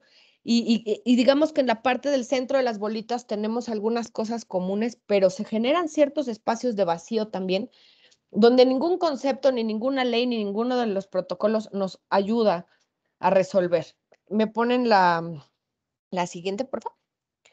Eh, esto, un poco, hay distintas dinámicas criminales y de violencias que cambian mucho a nivel cuantitativo, más allá del cualitativo. Ahora, a nivel cualitativo sí es muy importante ver que cuando suben las desapariciones en general, suben en general. ¿No? Esa es una cosa que hay que entender. Cuando suben, digo, la, mayoría de personas desaparecidas son hombres, pero ya tenemos un 25% de mujeres y las curvas son donde sube la desaparición de hombres, sube la de mujeres, lo mismo con los de niños. Aquí el tema de, homologar es que sí, o sea, hay que homologar para algunas cosas, para que sigamos pasos, digamos, los mínimos. No sé, yo pienso siempre en una receta. Para hacer un pastel de chocolate, muy probablemente cualquiera, o sea, cada uno de nosotros, pues tiene diferentes recetas. Alguien le echa más mantequilla, alguien le pone chispitas, alguien le pone otras cosas, pero finalmente son pasos mínimos para que sea un pastel de chocolate y a cada quien le añadirá un toque personal, pero eh, los protocolos tendrían que tender a ser pasos mínimos, pero que no nos oculten estas diferencias. ¿Me ponen la siguiente? Ahí yo pongo como ejemplo las desapariciones de mujeres, ¿no? Que están aumentando un montón, sobre todo en la región centro del país. Hay una privación de la libertad muchas veces, a veces son cometidas por agentes estatales, a veces por particulares. Hay una falta de información o una negativa a reconocer, digamos, la detención o la privación de la libertad y se desconoce el paradero de las personas. Claro que nos pueden encuadrar en las definiciones legales de desaparición forzada y desaparición cometidas por particulares. Pero lo que muestra ya cuando lo que dice eh, eh, la información, lo que decía Blanca también de ir a los datos, a qué información hay, cuando vamos a esa información, que es la que el protocolo, o sea, a la carnita, de, caso a caso, nos vamos a dar cuenta que no se cometen con los mismos fines, ni por los mismos grupos, ¿no? Y que entonces si aplicamos esta cosa que del famoso análisis de contexto, hay que empezar a hablar de contextos análisis de contextos, ¿no? Porque si le aplicamos aquí los lugares donde sabemos que privan de libertad a las personas y les dan destino a algunos grupos, si lo aplicamos a mujeres, muy probablemente no nos van a arrojar nada. ¿Me pasan en la siguiente? Hay un poco que hacer, ¿no? Que, digo, las, instituciones tienen un serio reto. Uno, entender que el protocolo, o sea, los protocolos son un fin, digo un medio, no un fin, Dos, que los protocolos pues no son mágicos. O sea, esta cosa de hagamos un protocolo ahora para explicar el protocolo y para homologar los protocolos que no se pueden homologar porque son deshomologados, eh, nos va a llevar a una, cada protocolo mete conceptos, mete procesos y mete niveles de sofisticación, cada uno el suyo. Imagínense como si fueran capas, ¿no? Capas, fragmentos, o sea, tienes una capa de obligaciones, luego te cae otra capa de obligaciones y conceptos, otra capa de obligaciones y conceptos, otra capa de obligaciones y conceptos, y acabas nadando en esa capa que ya no sabes ni cuáles te sirven, para qué y cuáles aplicas. ¿Cuál es la lógica institucional y cuáles son los mayores retos? Las instituciones, una por saturación, dos por malas prácticas y de verdad porque a muchas no les interesa, van a aplicar las, las obligaciones más sencillas, las que menos costo les impliquen las que sean más fáciles, eso es decisión racional. Si tengo un proceso que me implica 10 pasos y tengo otro que me implica 2, voy a hacer el de 2. Ese es uno de los principales problemas del protocolo. Complicó tanto, tanto, tanto que en esta elección racional, cuando uno dice, este me dice tres pasos y este me dice 15, ¿cuál voy a aplicar? el de dos o tres, ¿no? ¿Qué hay que hacer? Un poco ahí, yo lo he platicado muchas veces con muchas compañeras también, esta cosa que, que, hacemos las personas eh, y ustedes, sobre todo en los colectivos, de organizarnos, de intercambiar la información, no importa si tú buscas a una mujer, yo busco a un niño, yo busco a un hombre, yo estoy buscando un migrante, nos sentamos y compartimos y tratamos de entender que tienen en común nuestras, eh, nuestros casos, porque están vinculados al menos a nivel territorial pasaron en este estado. Entonces, ¿qué está pasando en este estado que hizo que mi hijo que tiene seis años y el tuyo que tiene 19 y tu hija que tiene 20 y el migrante que tiene cuarenta y tantos hayan desaparecido? ¿No? Hay que complejizar el análisis de las violencias y las desapariciones, situarlas en el tiempo, en el lugar determinado, mirar sus interacciones con otros tipos de violencia y definir estrategias y mecanismos de coordinación diferenciados. Pero aquí, ¿qué pasa?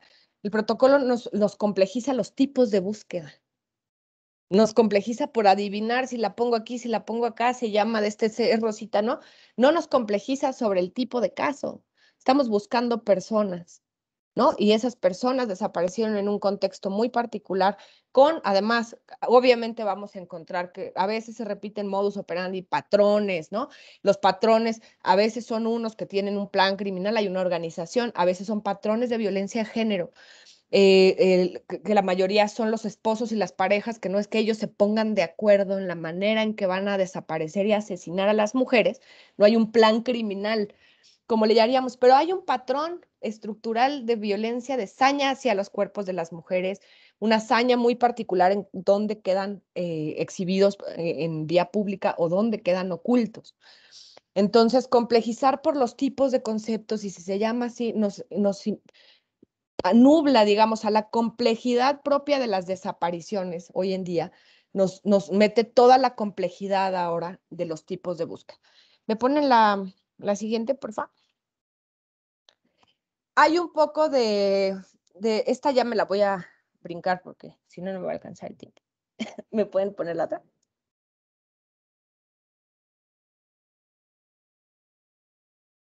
Aquí, em, la siguiente, por favor.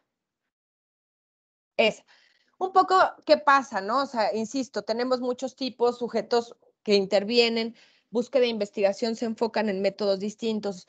Eh, el protocolo lo menciona, o sea, menciona que intervienen otras autoridades ministeriales, ¿no? Menciona que intervienen todas estas que les llama ahora, ahora tenemos toda una serie de clasificaciones de las autoridades que ya no me alcanzo a aprender, las primarias, las transmisoras, las comunicadoras, pero bueno, eso a mí me parece hasta cierto punto bien.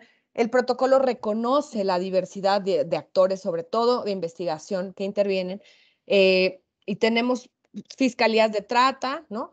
las de desaparición forzada y cometida por particulares, tenemos las de secuestro, pero además tenemos pues todas estas que tienen que ver con eh, los crímenes de género. Cada una de estas tiene un sujeto activo eh, muy particular, o sea, quien comete eh, el delito. A veces son grupos, o sea, la trata es muy común que sean redes, ¿no? Que son redes desde muy locales hasta redes organizadas internacionales complicadísimas. Desaparición forzada son fuerzas estatales, son policías, militares, marinos, en la, desaparición cometida por particulares tenemos grupos de la delincuencia organizada, pero también otro tipo de grupos delincuenciales, digamos, que no pueden necesariamente caben en esa definición legal y muchas veces en, violencia de género son los esposos, ¿no? La novia, la pareja. La búsqueda e investigación en esas en esos todos esos tipos no puede estar enfocada a lo mismo, ¿no? La búsqueda eh, en, trata, la investigación se suele enfocar en buscar métodos de enganche, lugares de explotación y redes redes, redes, redes, ¿no? Así van cambiando en cada una y entonces hay ciertos casos, la mayoría de los casos, ¿no? Eh, eh, actualmente, sobre todo de esta época, porque ahora ya se han ido modificando mucho, lo que sabemos es que la persona salió de su casa y no llegó a donde iba. ¿No? Entonces, para encuadrarla en uno de estos métodos de búsqueda, no sé, dice el protocolo, bueno, búsqueda inmediata. Ok, va, esa, digamos que sí ha mejorado, sí se han visto las mejoras, eh, se han logrado eh, aumentar, digamos, los índices de, localización eh, en cierta medida, pero después de esa seguimos un poco perdidos en el proceso, ¿no? También con una colega del observatorio escribimos un artículo que se llama así, estamos perdidos en el proceso. Nos ponemos a ponerle nombres, categorías, pasos, añádele 10 pasos, luego quítale 5, pero mejor ponle 10 y no acabamos nunca de ajustar el proceso, ¿no? Pero lo que no ah, logramos eh, dar el paso y decir, bueno, ¿y qué tal si, eh, pensamos en, quitemos todo, pensemos en los resultados y en torno a eso trazamos eh, los pasos a seguir? La siguiente, por favor. Aquí la fragmentación, ¿no? Este es un problema que ya todas ustedes conocen. Tenemos una cantidad de fiscalías que intervienen en la práctica en casos de desaparición, porque no solo son las de desaparición forzada y cometida por particulares, ¿no? Ahí tenemos un problema también que deriva de una, una eh, super fragmentación que hemos hecho tipos penales para todo, para que nos quepa la realidad y tenga un nombre. Eso es importante, pero que a la mera hora nos acaban generando esto. Hay fiscalías, a veces intervienen las que se llaman de violencia de género o violencia contra la mujer, que están especializadas por el sexo de la víctima. Las especializadas por la edad, delitos cometidos en agravio de niños y niñas y adolescentes, pero a veces intervienen eh, feminicidio y transfeminicidio porque cuando localizan cadáveres sin identificar de mujeres, inicia feminicidios, pero pues de todas maneras en, en algún momento tiene que haber por ahí un reporte, una denuncia de desaparición. Intervienen las de trata, las de desaparición, las de tráfico y secuestro, eh, y todas las que tienen especialidad por la calidad del sujeto activo cuando es pasivo, perdón, cuando es relevante, las que cuando eres periodista, migrante, ¿no? Eh, intervienen más las territoriales que no tienen ninguna especialidad. Y luego, en otras, otras instancias, ahorita por el tema también tanto que está tan fuerte el tema de mujeres y niñas, Intervienen los centros de justicia para las mujeres, las procuradurías de protección de niños y niñas, el CIPINA, el DIF. El DIF en un montón de estados es la autoridad de búsqueda inmediata. ¿no? Es la que se despliega y manda grupos de WhatsApp y va a revisar a los lugares donde se cree que puede estar una persona. Un montón de policías, secretarías de las mujeres, programas interinstitucionales sobre violencia, otro sistema nacional de violencia contra las mujeres y todos los mecanismos creados en torno a las alertas de género, que ya hay 18 en el país, entre ellos Puebla, ¿no? Que, que ahí en Puebla la alerta de género dio lugar a un montón, a un 911 de género, a la, a, la, implementación del protocolo ALBA y todo eso se le ha cargado a la Fiscalía de Desaparición también. Luego, y protocolos, tenemos de la, de la pura ley de desaparición, derivan, ya tenemos tres, ¿no? El homologado de búsqueda y el adicional para búsqueda de niños, niñas y adolescentes, el protocolo homologado de investigación de desapariciones, que es el que aplican las fiscalías, pero además tenemos el alerta AMBER y el protocolo ALBA, esto solo para desaparición. Cuando nos involucra además feminicidio o tenemos además de eh, la desaparición, si ya fue localizado, descubrimos que además hubo violencia sexual o tortura, van a aplicar otros, otros protocolos de investigación. ¿Me ponen la siguiente? Lo que les quiero decir con esto es que el protocolo homologado de búsqueda recae sobre un montón de cosas que fueron creadas previamente, que vienen de otros procesos de demanda, de otros, eh, digamos, movimientos también de víctimas. La ley de trata viene de una organización, de organizaciones también de la sociedad civil y de víctimas de trata. todo el tema de feminicidio, las alertas eh, los protocolos AMBER viene desde hace muchos años, eso viene de Juárez, ¿no? Eh, y, después de todo lo que pasó en, campo, algodonero, eh, el protocolo cae entre ya una cuestión muy fragmentada, muy complicada, donde cada una de estas fiscalías, digamos que, le nombra distinto a las cosas.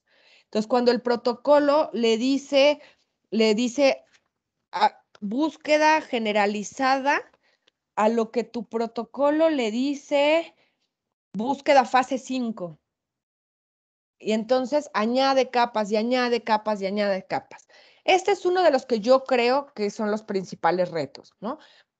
Una, el, protocolismo mágico, o sea, los protocolos, cumplir los protocolos, así, aún si siguiéramos al pie de la letra, si es cumplir por cumplir, no nos van a dar resultados. Dos, que se, al complejizar tanto el proceso, lo que se debería de complejizar es el análisis de las desapariciones, de los contextos, cómo, dónde, dónde sucedió, quién pudo ser, a dónde se lo llevaron, dónde estamos localizando a las víctimas. Eso es lo que tiene que tener complejidad, no todo lo que haces para, ¿no? O sea, claramente la, la complejidad de los nombres de las búsquedas refleja un poco esto, pero le agrega una nueva capa distinta donde no va a ser suficiente en un cierto tipo de casos. Hay un bloque de casos donde no sabemos si es trata, no sabemos si es feminicidio y están investigándose en las, en las fiscalías de desapariciones porque al menos lo que sí ha logrado la ley es que ahí se concentren un montón de casos que antes se estaban concentrando en secuestros, pero están investigándose ahí sin hipótesis y, y, además hay una especie de vacío. Hay un área de vacío que tienes ocho protocolos, aún juntándolos, queda un hueco negro de la respuesta estatal, donde no te va a caber en ninguno de estos conceptos que te dicen todos estos protocolos, ¿no? El problema que hay también un poco eh, es que ha cambiado como mucho la dinámica de las desapariciones, la ley de desaparición, eh, el protocolo homologado de investigación está pensando en cierto tipo de desapariciones, en cierto tipo de patrones, ¿no? Entonces ahora el reto es cómo eh, vamos a hacer que, que entiendan con un poco más de, amplitud. Aquí lo que es clave, y lo dijo Blanca también, es la información. O sea, no podemos partir del protocolo nada más, o sea, tenemos que tener la información, que esa es una parte que falta y que ha sido un problema por las resistencias de las fiscalías.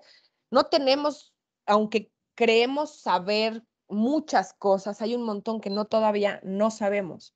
Entonces, de la información, de saber, de clasificar, de tratar de decir, a ver, estos son de este tiempo, estos son de este tiempo, estos corresponden a este contexto, estos se parecen en esto, estos se parecen en otro, o sea, en la revisión de la información. Hay que dar el brinco a tardarnos cinco años aprobando un protocolo que de todas maneras se va a quedar ahí porque lo que no hay es acceso a la información. No hay acceso a esa información que tenemos. Las familias tienen mucha más información que ahorita parte del esfuerzo de las comisiones de búsqueda, porque las fiscalías sabemos que pues en muchos casos ya son una especie de caso perdido por resistencias, eh, creo que están pasando en un momento muy, muy, eh, muy complicado de, resistencias ya muy abiertas eh, y además de una sobrecarga de ya no, no saben ni quiénes son, ¿no? O sea, ni qué hace cada una. sus enmarcamientos legales, su lógica institucional ya, ya no se entienden, o sea, hay que seguir repensando el diseño de las fiscalías porque la fragmentación se convirtió en una trampa. La fragmentación es una trampa, ¿no? Cuando ellos fragmentan, porque no les podemos decir que no cumplen. Si tú vas a las recomendaciones internacionales, les pidieron crear una fiscalía de trata, la crearon. Crea una de feminicidio, la crearon. Crea una de desaparición, la crearon. Haz una de tortura. Ahora es una de secuestro. Ahora es una de migrantes. Y no está mal, pero la lógica de la especialización de, los, de las instancias tiene que ver con que desarrollen metodologías especializadas. Eso es la importancia de la especialización. No que digan, híjole, no, es que yo voy a agarrar, tengo una realidad de este tamaño y voy a mirar por el hoyito. Lo que alcanza a ver es lo que yo alcanzo a ver y entonces la otra realidad no existe. Eso es lo que ha pasado con la hiperespecialización del sistema de justicia. ¿Qué pasa? El protocolo, o sea, las comisiones de búsqueda, por su diseño, por no estar ligadas a, a esta cosa del sistema hiper especializado de investigación criminal tendrían que tener una visión mucho, mucho más amplia de esta realidad, que es la que se trata de poner, digamos, en el protocolo, que parte de decir, bueno, son muchos delitos, son muchas realidades, puede haber muchos patrones, hay búsqueda en vida, hay búsqueda que en escenarios forenses, o sea, da muestra un poco de que sí tienen este panorama, pero hacen una sobrecarga de conceptos y de obligaciones que entonces nos dice, ok, sí puedo ver esa realidad, pero para poder ver esa realidad, tengo que subir siete escalones, digo, siete pisos de escalón normativos y de obligaciones para poderla ver, ¿no? Entonces nos vamos a tardar no sé cuántos años porque ahorita vamos en el escalón uno de la búsqueda inmediata y como también ya dijeron Josep y, Blanca, sin recursos, sin eh, voluntad, ¿no? Con todo este chilaquil, yo le digo chilaquil normativo que ya no sabemos este, para dónde arreglar, pues va a ser muy difícil lograr llegar hasta ese punto de arriba donde podamos ver toda esa realidad y entonces encontrarle un poco de, de sentido. Yo ahí la dejaré.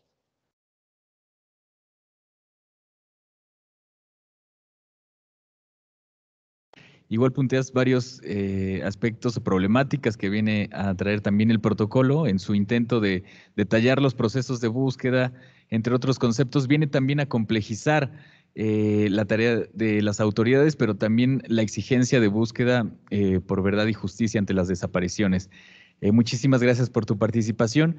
Ahora, en la siguiente etapa de, de, esta mesa, me gustaría pasar al primer bloque de preguntas y respuestas. Primero de manera presencial y posteriormente ya en la plataforma. mi compañera Ana nos hará favor de pasar el micrófono y leer las preguntas que están en línea. Si gustan, eh, pueden tomar el uso de la palabra, compartirnos tres preguntas de aquí del auditorio y posteriormente nuestras compañeras y compañeros las responderán. Eh, no sé si quieran levantar la mano aquí o pasamos a las virtuales.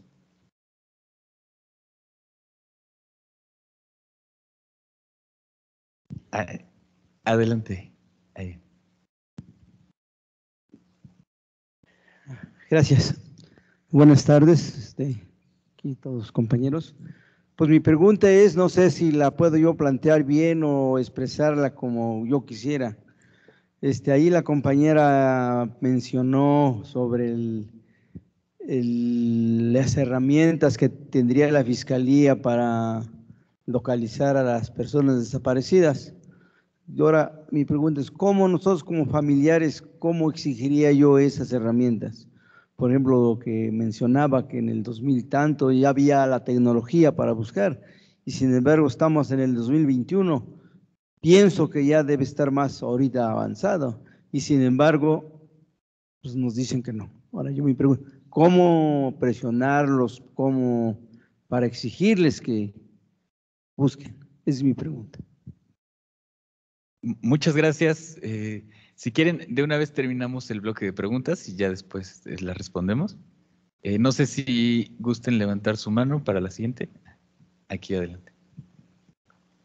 También mi pregunta es, bueno, en este caso las líneas telefónicas, pues son las primeras que nos ponen las trabas en decir que necesitan pues oficios para que se dé esa información. Yo pienso que cuando se lleva una, una denuncia de desaparición de personas, sí debería de haber más agilidad para que nos den esa información, ¿no? Ya que es una información, yo considero muy principal para dar rápido con esas personas desaparecidas. Entonces, si hay alguna ley que se los, pues, los obligue a dar esa información y si no tratar de, pues, de ver esa manera que se haga una ley que los obligue, aunque sean particulares. Yo digo que deben de estar obligados porque ellos reciben o unas ganancias por dar ese servicio, ¿no? No es gratuito. Gracias. Muchas gracias. Y ahora la tercera pregunta. Eh, no sé si gusten levantar la mano. Creo que... Ah, de este lado, María Sí. yo hablo y hablo y hablo. Este, buenos días y pues muchas gracias por, por, la, por darnos la apertura a, este aprendizaje tan importante para nosotros. Eh, con todo esto y con todo esto que ustedes han expuesto eh, desde su perspectiva y experiencia, inclusive de otros estados, de la maestra Volga, que ha estado este, pues igual a, nivel nacional en el tema del acompañamiento de colectivos, y que aquí en Puebla hoy estamos eh, pugnando para que se apruebe la ley estatal en, materia de desaparición de personas. Desde mi punto de vista, pues creo que con el marco legal que ya existe eh, para la investigación y búsqueda de las personas desaparecidas, si las instituciones o servidores públicos tuvieran esa disposición verdadera de, buscarles, se podrían lograr o se podrían dar logros de, yo creo que de manera realmente muy importantes. Yo creo que eh, habrían eh, podido localizar o encontrar a nuestros desaparecidos en un, en un número muy, muy, muy grande, y perdón que hable de números, pero bueno, muchos de ellos ya podrían haber estado en casa si hubiera realmente esa disposición esa voluntad real de querer hacer las cosas, ¿no? Dicen que cuando se quiere, se puede. Y pues em, a veces también entre toda esta creación de, marco jurídico, de, más leyes, pues al mismo tiempo como que es una carga, es una carga que tenemos que, llevar a cuestas también los familiares, porque ahora tenemos la obligación también o, la necesidad y que pareciera ser una obligación que tener que aprendernos todo este marco jurídico que pues eh, digo, hay quienes ni siquiera en su vida tuvieron lo, tenían la oportunidad a veces eh, de, leer, de leer o conocer estas leyes y de repente también es lo complejo de poder entenderlas. Em, entonces, pues, bueno, la pregunta es, eh, y yo así lo, lo resumo, creo que podremos tener el marco legal más completo, el mejor elaborado técnicamente, con todos los conocimientos, experiencias de quienes buscamos a nuestros desaparecidos, con el acompañamiento de expertos como ustedes, pero si al final del día el Estado, los servidores públicos no quieren cumplir con su trabajo, este, pues no, lo, es que no lo van a hacer, no lo están haciendo. Esa es la realidad, no lo están haciendo. Eh, y luego entonces sí podemos denunciarles, sí podemos presentar quejas, pero vuelvo a lo mismo. Entonces es una carga más y más para los familiares. Entonces, pues igual y digo, aquí ya sería es, la, pregunta, ¿es parte del, del, problema sistémico? ¿Consideran ustedes que es parte del sistema, del problema sistémico? ¿Es justo a lo que le apuesta el Estado a abrumarnos? para que desistamos, para que nos cansemos, para que nos desesperemos, para que dejemos la lucha? Gracias. Muchas gracias. yo creo que pasamos ya a las respuestas. No sé si alguien de una vez aquí, por aquí, Blanca. Ciertamente, eh, compañeras, el sistema lo que espera es que nos muramos eh, buscando. Entonces, todo este circuito perverso de un disque sistema de justicia y de no procuración de justicia eh, lleva la apuesta a la impunidad eh, y le deja toda la carga desde la búsqueda hasta tener que estar presentando denuncias también contra los funcionarios por no, porque al no cumplir su responsabilidad están incurriendo en delitos. Nosotras, ¿qué sugerimos? Que ya tenemos que empezar a, ponerles gorro. Gorro en términos de sí tenemos que denunciarlos. Quizá no nos va a dar la vida para dar seguimiento a la denuncia, pero tiene que quedar el precedente. Que quede ahí el registro de que se denunció y que la autoridad tampoco hizo nada.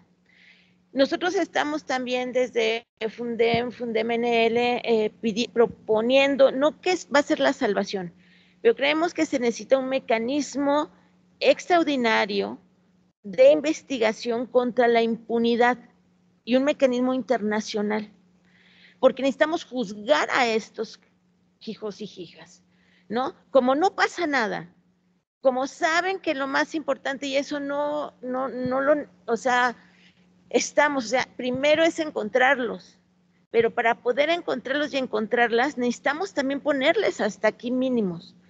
¿no? Que nos permita decir, por aquí vamos a seguir buscando.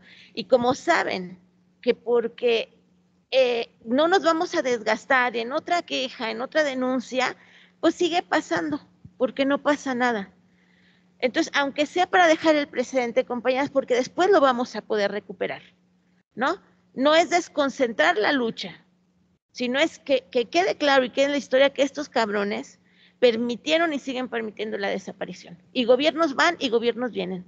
Y ministerios públicos pasan y pasan y pasan, y luego además es el primero con el que te enfrentas, ¿verdad? Pero es una parte sí es sistémica. La desaparición es intrínseca al sistema de injusticia que vive nuestro país y desgraciadamente el mundo. Entonces, nosotros sí somos de la idea de que dejemos el presidente, señalemos, y no e, es, es sumarnos a esta demanda y exigencia legítima también de las mujeres en estos momentos contra el feminicidio, es no guardar silencio también por la responsabilidad que ellos tienen, ¿no? Y seguimos buscando. ¿No? Y, en eso va también lo de pedir la información, ¿no? No puede ser que desde el 2011 nos dimos cuenta que se podían rastrear ya las llamadas, ¿no? Entonces, como no hacen, como no hacen nada y no les hacemos nada ni les decimos, la otra vez una compañera le puso una queja a un Ministerio Público de Desaparecidos de FGR y ese, ese mes era el cuate este, el jovencito, no es tan malo, pero este, se había ganado el MP del mes y ándale, ¿no? Que le cae su queja, ¿no? Y te los tienes que traer en chinga, ni modo, ¿no? Entonces, organizadas, poniéndole su responsabilidad y no permitiendo que nos dejen morir en el intento y aprendiendo a buscar todas a todos, eh, va a ser la única manera. Una cosa que les sugiero también, una cosa que hacemos nosotros con lo de las sábanas de llamada, con teléfonos. Nosotros estamos trabajando con Fundeme y con Fundeme NL, lo que llamamos las rutas del crimen. Para eso es importante juntarnos a platicar, a pensar juntas, a compartir información en sus colectivos obviamente hay información que, es confidencial, papá, pero hay información que es pública. Quizás un celular no nos va a dar la ruta, porque estos cabrones ya saben que hay que quitárselos, ¿verdad? Y los avientan a la barranca, los avientan al río o a la coladera. Pero sí van dejando huella, porque es el, el celular de una, de otra, de aquella, de ta, ta, ta, y eso va dejando una señal, porque es por donde caminan y por donde avientan los celulares. Eso son rutas del crimen. Y las rutas del crimen siempre nos dejan un dato y son rutas para la búsqueda y eso lo hemos aprendido buscando con ustedes. Muchas gracias, Blanca. Y ahora, no sé si Volga o Joseph se quieren apuntar.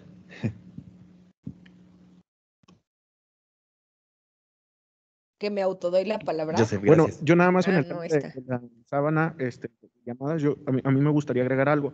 A mí me parece que la ley pues también impone una carga muy desmedida y me explico por lo siguiente. En el tema de datos conservados, todas las compañías guardan la, la información de esos datos durante dos años y el código hace dos rutas. La primera ruta es pedir la información, pedir la autorización al juez que el juez dé la autorización y luego pedirle la, información a la compañía. Y una segunda ruta de casos urgentes donde entra, el código nada más habla de secuestro, pero los jueces sí han estado admitiendo las desapariciones para esa procedencia, en donde se pide primero la información y luego se pide la ratificación. ¿Cuál es el problema? Eh, hemos entrado también a un terreno de una sobre este, protección de los datos personales.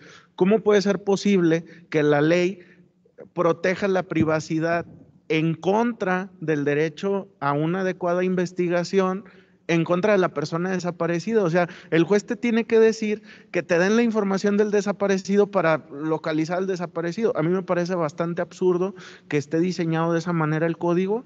A mi parecer lo que tendría que haber ahí sería una reforma, pero bueno, fuera del tema de la reforma. Este, la fiscalía puede solicitar la información y ahí nuevamente hay que hacer una distinción que la voy a explicar porque es un tema a lo mejor muy técnico en lo legal, pero para que este, también este, se, tenga como esa justa dimensión. ¿Por qué pide la ley que se ratifique?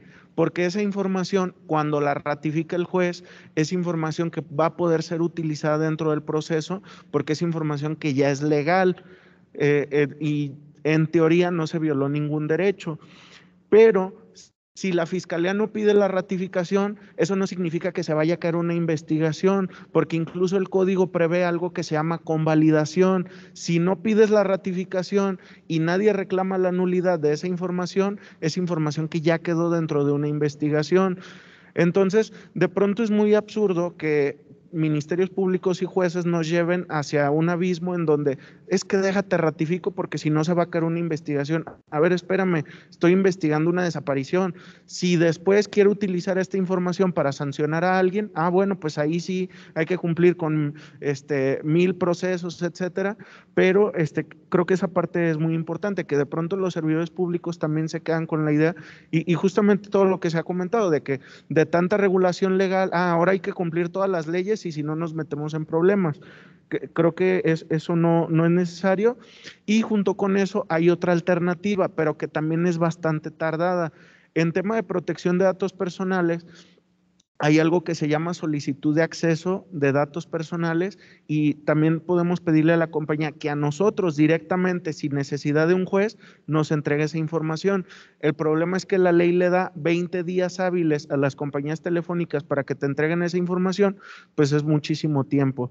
Pero aquí lo que tendría que ocurrir es que en, en todas las denuncias y en todos los reportes, lo primero que se tendría que hacer antes que los famosos 50 oficios que mandan es pídeme la sábana de llamadas y analiza esa información, comparte esa información con la persona que denunció y con los testigos para empezar a explotar esa información. A mí me llegó a pasar, por ejemplo, que venía información en la sábana de llamadas telefónicas que se hicieron antes de que ocurriera el evento de la desaparición. Y, ni siquiera se le preguntaba a la víctima si conocía alguno de esos números. Entonces, este, pues no agotas, sacas esa información, pero no la explotas adecuadamente. Luego hablábamos, por ejemplo, ahorita de, lo de las rutas del crimen. Yo no tenía ese concepto en mente, pero justamente eso. Si de pronto encuentras una, por ejemplo, localizas una fosa este, con, con, varias víctimas en ese lugar, a ver, pues junta esas carpetas, pide sábanas de llamadas en todos y empieza a tratar a, trazar esas rutas que pudieron haber seguido esas personas, porque a lo mejor esto va a estar relacionado con otras desapariciones, con otros homicidios, etcétera, y entonces empiezas a explotar adecuadamente esa información. Eso es lo que hace falta la autoridad. Pero sí, en el tema de, de la sábana, yo, yo diría siempre exigir que se pida inmediatamente y empezar a obtener esa información. Algo que creo que va muy relacionado y que pasa mucho, por ejemplo, en Jalisco, se presume mucho que existe el sistema este del C5, que tienen cámaras en diferentes puntos de la ciudad, que allá en Jalisco se guarda esa información únicamente 30 días. Y ya cuando el MP va a pedir la información, ah, pues ya pasaron los 30 días y ya te perdiste esa información. Eso no puede ser posible.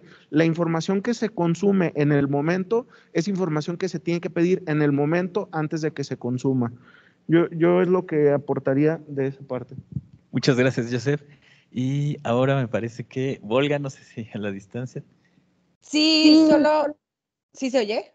Es que me oigo doble. Escuche. Solo para agregar algunas cosas, digo, em, este, estas son las partes que, que, a mí me parecen muy simpáticas, ¿no?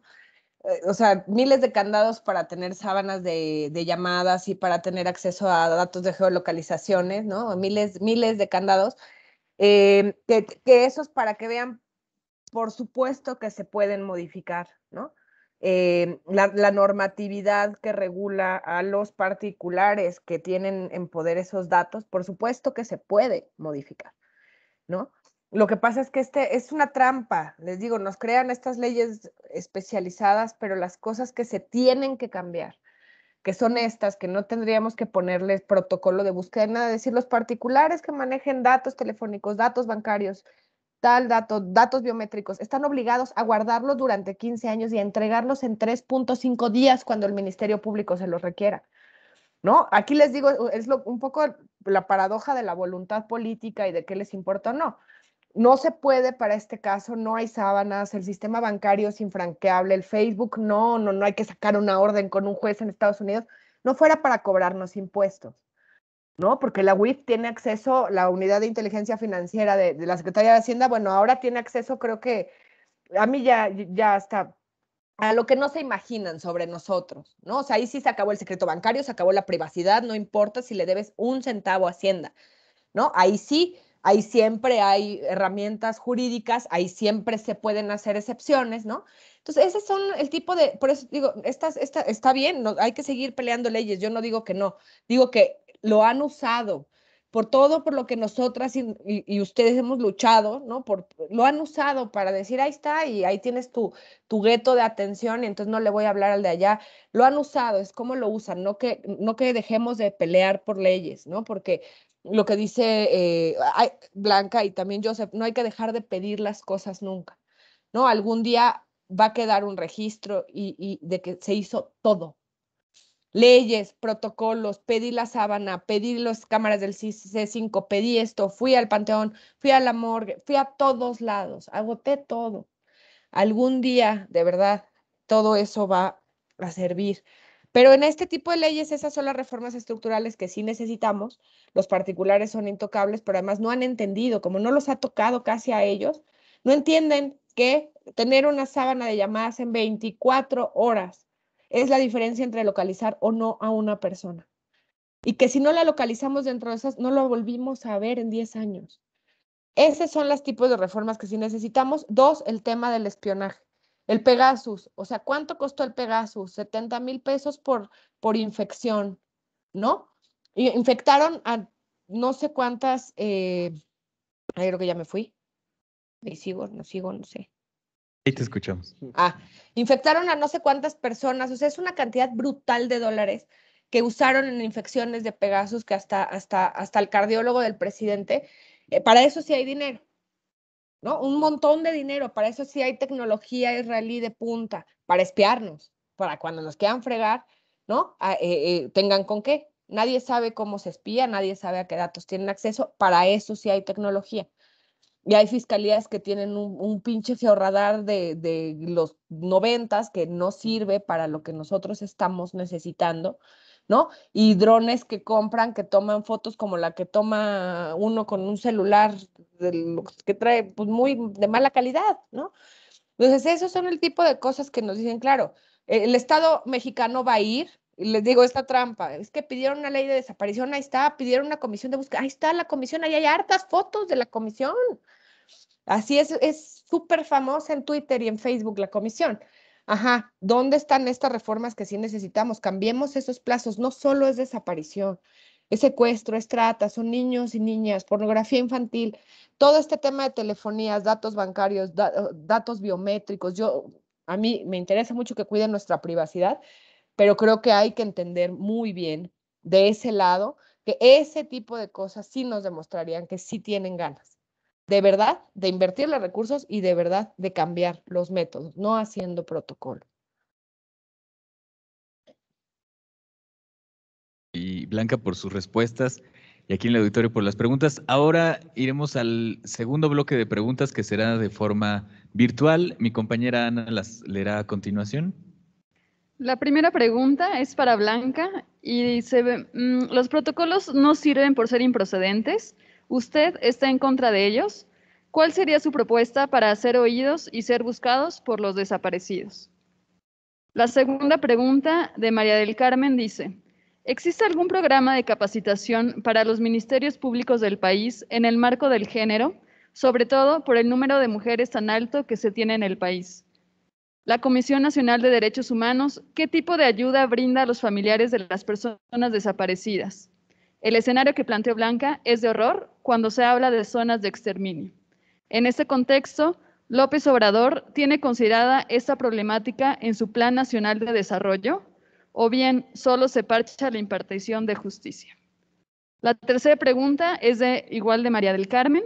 Pregunta a Blanca, si se tiene un lugar en donde están los restos de las osamentas de las personas desaparecidas, la autoridad debe de buscar a los familiares. ¿Por qué no las buscan? ¿Falta información o faltan recursos? ¿Qué es lo que falta? Y finalmente, la última pregunta es de Jorge. Dice, ¿debe exigir la solicitud de datos conservados por parte de las autoridades investigadoras en virtud de qué mandato legal únicamente se conservan por 24 meses? Y es muy lamentable que infinidad de investigaciones nunca se solicitó. Y ese plazo ya se venció, a pesar de que el número se aportó desde la denuncia de los hechos, es decir, desde el inicio. Y otra problemática es el adecuado análisis de los datos conservados en virtud de que aportan datos útiles, objetivos y científicos para seguir las líneas de investigación. Y es el caso que quienes analizan esta información tampoco están debidamente capacitados para su análisis. Muchas gracias, Ana. Y aprovecho este, este momento para también recordarles, eh, tanto al público aquí en el auditorio como en, de forma virtual, eh, si nos ayudarían con responder la evaluación que se les ha proporcionado para mejorar los eventos, eh, mesas y jornadas. Muchísimas gracias. Y ahora, no sé quién quiera comenzar, si de este lado también. gracias, Blanca. A ver, los protocolos. Si hubiera voluntad política, y si en verdad eh, el marco jurídico mexicano, la constitución, el uno constitucional, donde se reconoce toda una amplia gama de derechos y con una visión de progresividad, de ver más para allá, si se quisiera, no necesitaríamos los protocolos. Necesitarías instrumentos muy básicos, este, de guías orientadoras, de principios y no ladrillos de papel y de letras blanco y negro, como decía la compañera, que no alcanzamos ni a leer ni a entender. Entonces, el fondo es la voluntad real de poder detener esta masacre a nuestros pueblos y la exigencia y derecho a que todos los que no están ahorita regresen a casa. Entonces, cuando el protocolo es un instrumento ágil, fácil, que te permite que los derechos reconocidos puedan ser vigentes, va, pero como decía también Volga ahí, como la epidemia del protocolitis y como que si eso va a resolver, no te duermes ahí con el protocolo y ya se resolvió. E-, esa es la crítica de los protocolos, ¿no? Por eso la exigencia de voluntad real. La voluntad real no se está expresando en, los, en lo que se escribe y se publica en el diario oficial de la federación. Y sí vivimos una situación muy terrible, sé que no es solamente en el noreste, eh, nosotros en el noreste sí hay una temporalidad en que sí se pueden encontrar fosas clandestinas donde puedes encontrar cuerpos casi completos, pero lo que nos ha tocado vivir a nosotras desde ya hace varios años y encontrarnos son campos de exterminio, o sea, lugares donde exactamente es la desaparición, que no quede nada, ¿no? Entonces, eh, y eso desgraciadamente ya no solo es en el noreste, cuando nosotros empezamos a denunciar 2009-2010 esto, desgraciadamente cubrió como una nube negra todo el país, una nube de sangre más que negra, ¿no? Entonces, sí estamos en una situación muy grave. No puede ser que un, haya más de 10, 100 mil fragmentos en un estado y es chiquitito. Y el vecino Nuevo León, el estado más rico de toda la República, que produce la mayor cantidad de Producto Interno Bruto, ¿no? Que haya más de 3 mil personas desaparecidas y no sé ya cuántos miles, o sea, les digo que solo fundé MNL en dos operativos grandes que duraron meses, más de 200 mil fragmentos, o sea, ¿de qué estamos hablando? No es, y esta no es fantasía, ¿no? Ustedes bien lo saben y, y la saben todas las organizaciones de familiares que tienen que estar haciendo lo que el Estado no hace, ¿no? Y que la comisión de búsqueda, mientras siga nada más tomándose fotos y jugando a campaña de publicidad de miren cómo busco y no se apliquen a hacer estrategias en realidad y mover las instituciones del Estado, no, no hay para cuándo. O sea, no vamos a acabar de identificar, no vamos, porque más y más y más, este, y los únicos que podemos parar somos nosotras, sociedad civil, ¿no? Este, las familias. Eh, es que el Estado no quiere buscar. Eh, ¿Cuál problema, qué problemas hemos identificado nosotros en los cuerpos no identificados eh, en, fosas, en fosas comunes en, Coahuila? Hay información en las averiguaciones previas, poquita, pero hay. Eso te permite hacer eh, hipótesis de investigación para buscar a la familia, los cuerpos. Todas mundo sabemos que hay muchos cuerpos que se han recuperado, que traen la credencial, traen su cartilla de identificación si son centroamericanos, eh, los tatuajes, la ropa. O sea, hay manera de sí encontrar a las familias y no se hace, su pretexto de tenemos mucho que hacer, a ver quién le toca a la comisión de búsqueda, a la fiscalía, no a la general, no a la del Estado, no al presidente municipal. Le toca a usted, señora, ¿no? O sea, volvemos siempre a que le toca a la familia. Y la familia lo va a hacer, Claro que sí, ¿no? Y no, es, y no se va a dejar de hacer aunque el Estado esté delegando su responsabilidad. ¿no? Pero no lo quieren hacer porque el que, el que encuentra, ahora sí, el que busca y encuentra, encuentra. En medida que encontremos a más y más y identifiquemos a más, más se va a encontrar la cadena de impunidad, ¿no? Y la responsabilidad del Estado. Entonces, por eso no encuentran, porque encontrando, encontramos su responsabilidad. Entonces, por eso nuestra insistencia en dejemos precedente, no nos gastemos en la denuncia, pero que quede escrito. porque es su palabra, es su historia, es su verdad. El Comité de Derechos Humanos de Naciones Unidas, en un caso de compañías de FUNDEMNL, acaba de sacar una resolución y dice, el Estado mexicano cometió, entre otros graves delitos, por no, la no búsqueda de, Roy Rivera, cometió tortura contra la mamá y la familia. Y la tortura la hizo institucionalmente en todo esto que les hicieron hacer. Y eso quedó escrito en, en sus oficios que no buscan, pero que demuestran su complicidad. ¿no? Este, y tenemos que denunciar y, y, los vamos a encontrar, o sea, tenemos que encontrar. No empezamos ni seguimos, ni empezamos derrotadas, ni seguimos caminando derrotadas. Y sí hemos encontrado entre todas y todos, ¿no? Nos faltan muchísimos más, pero, pero hay que reconocer que también hemos encontrado y que tenemos que seguir encontrando. Muchísimas gracias, Blanca. Y no sé si de este lado, Joseph o Volga, quien quiera. ¿Sí? Este, yo únicamente respecto a, a la, al cuestionamiento que hacían nuevamente de la sábana de llamadas, eh, es la Ley Federal de Telecomunicaciones y Radiodifusión la que establece que únicamente se debe de guardar 24 meses, pero este, pues, eh, ahí el tema es, o sea, tienes dos años y en dos años no puedes pedir esa información, es completamente absurdo. O sea, la ley te podría dar 50 años y seguramente ni en 50 años los pedirían. Entonces, yo creo que, que ahí el tema más que, que, un tema legal, pues es lo que hemos venido comentando, un tema de voluntad. En el tema del análisis, sí creo que debe de haber una mucho mayor capacitación, tanto policías investigadores, tanto personal de la comisión de búsqueda, como los propios ministerios públicos, para que sepan interpretar una sábana de llamadas y que sepan explotarla.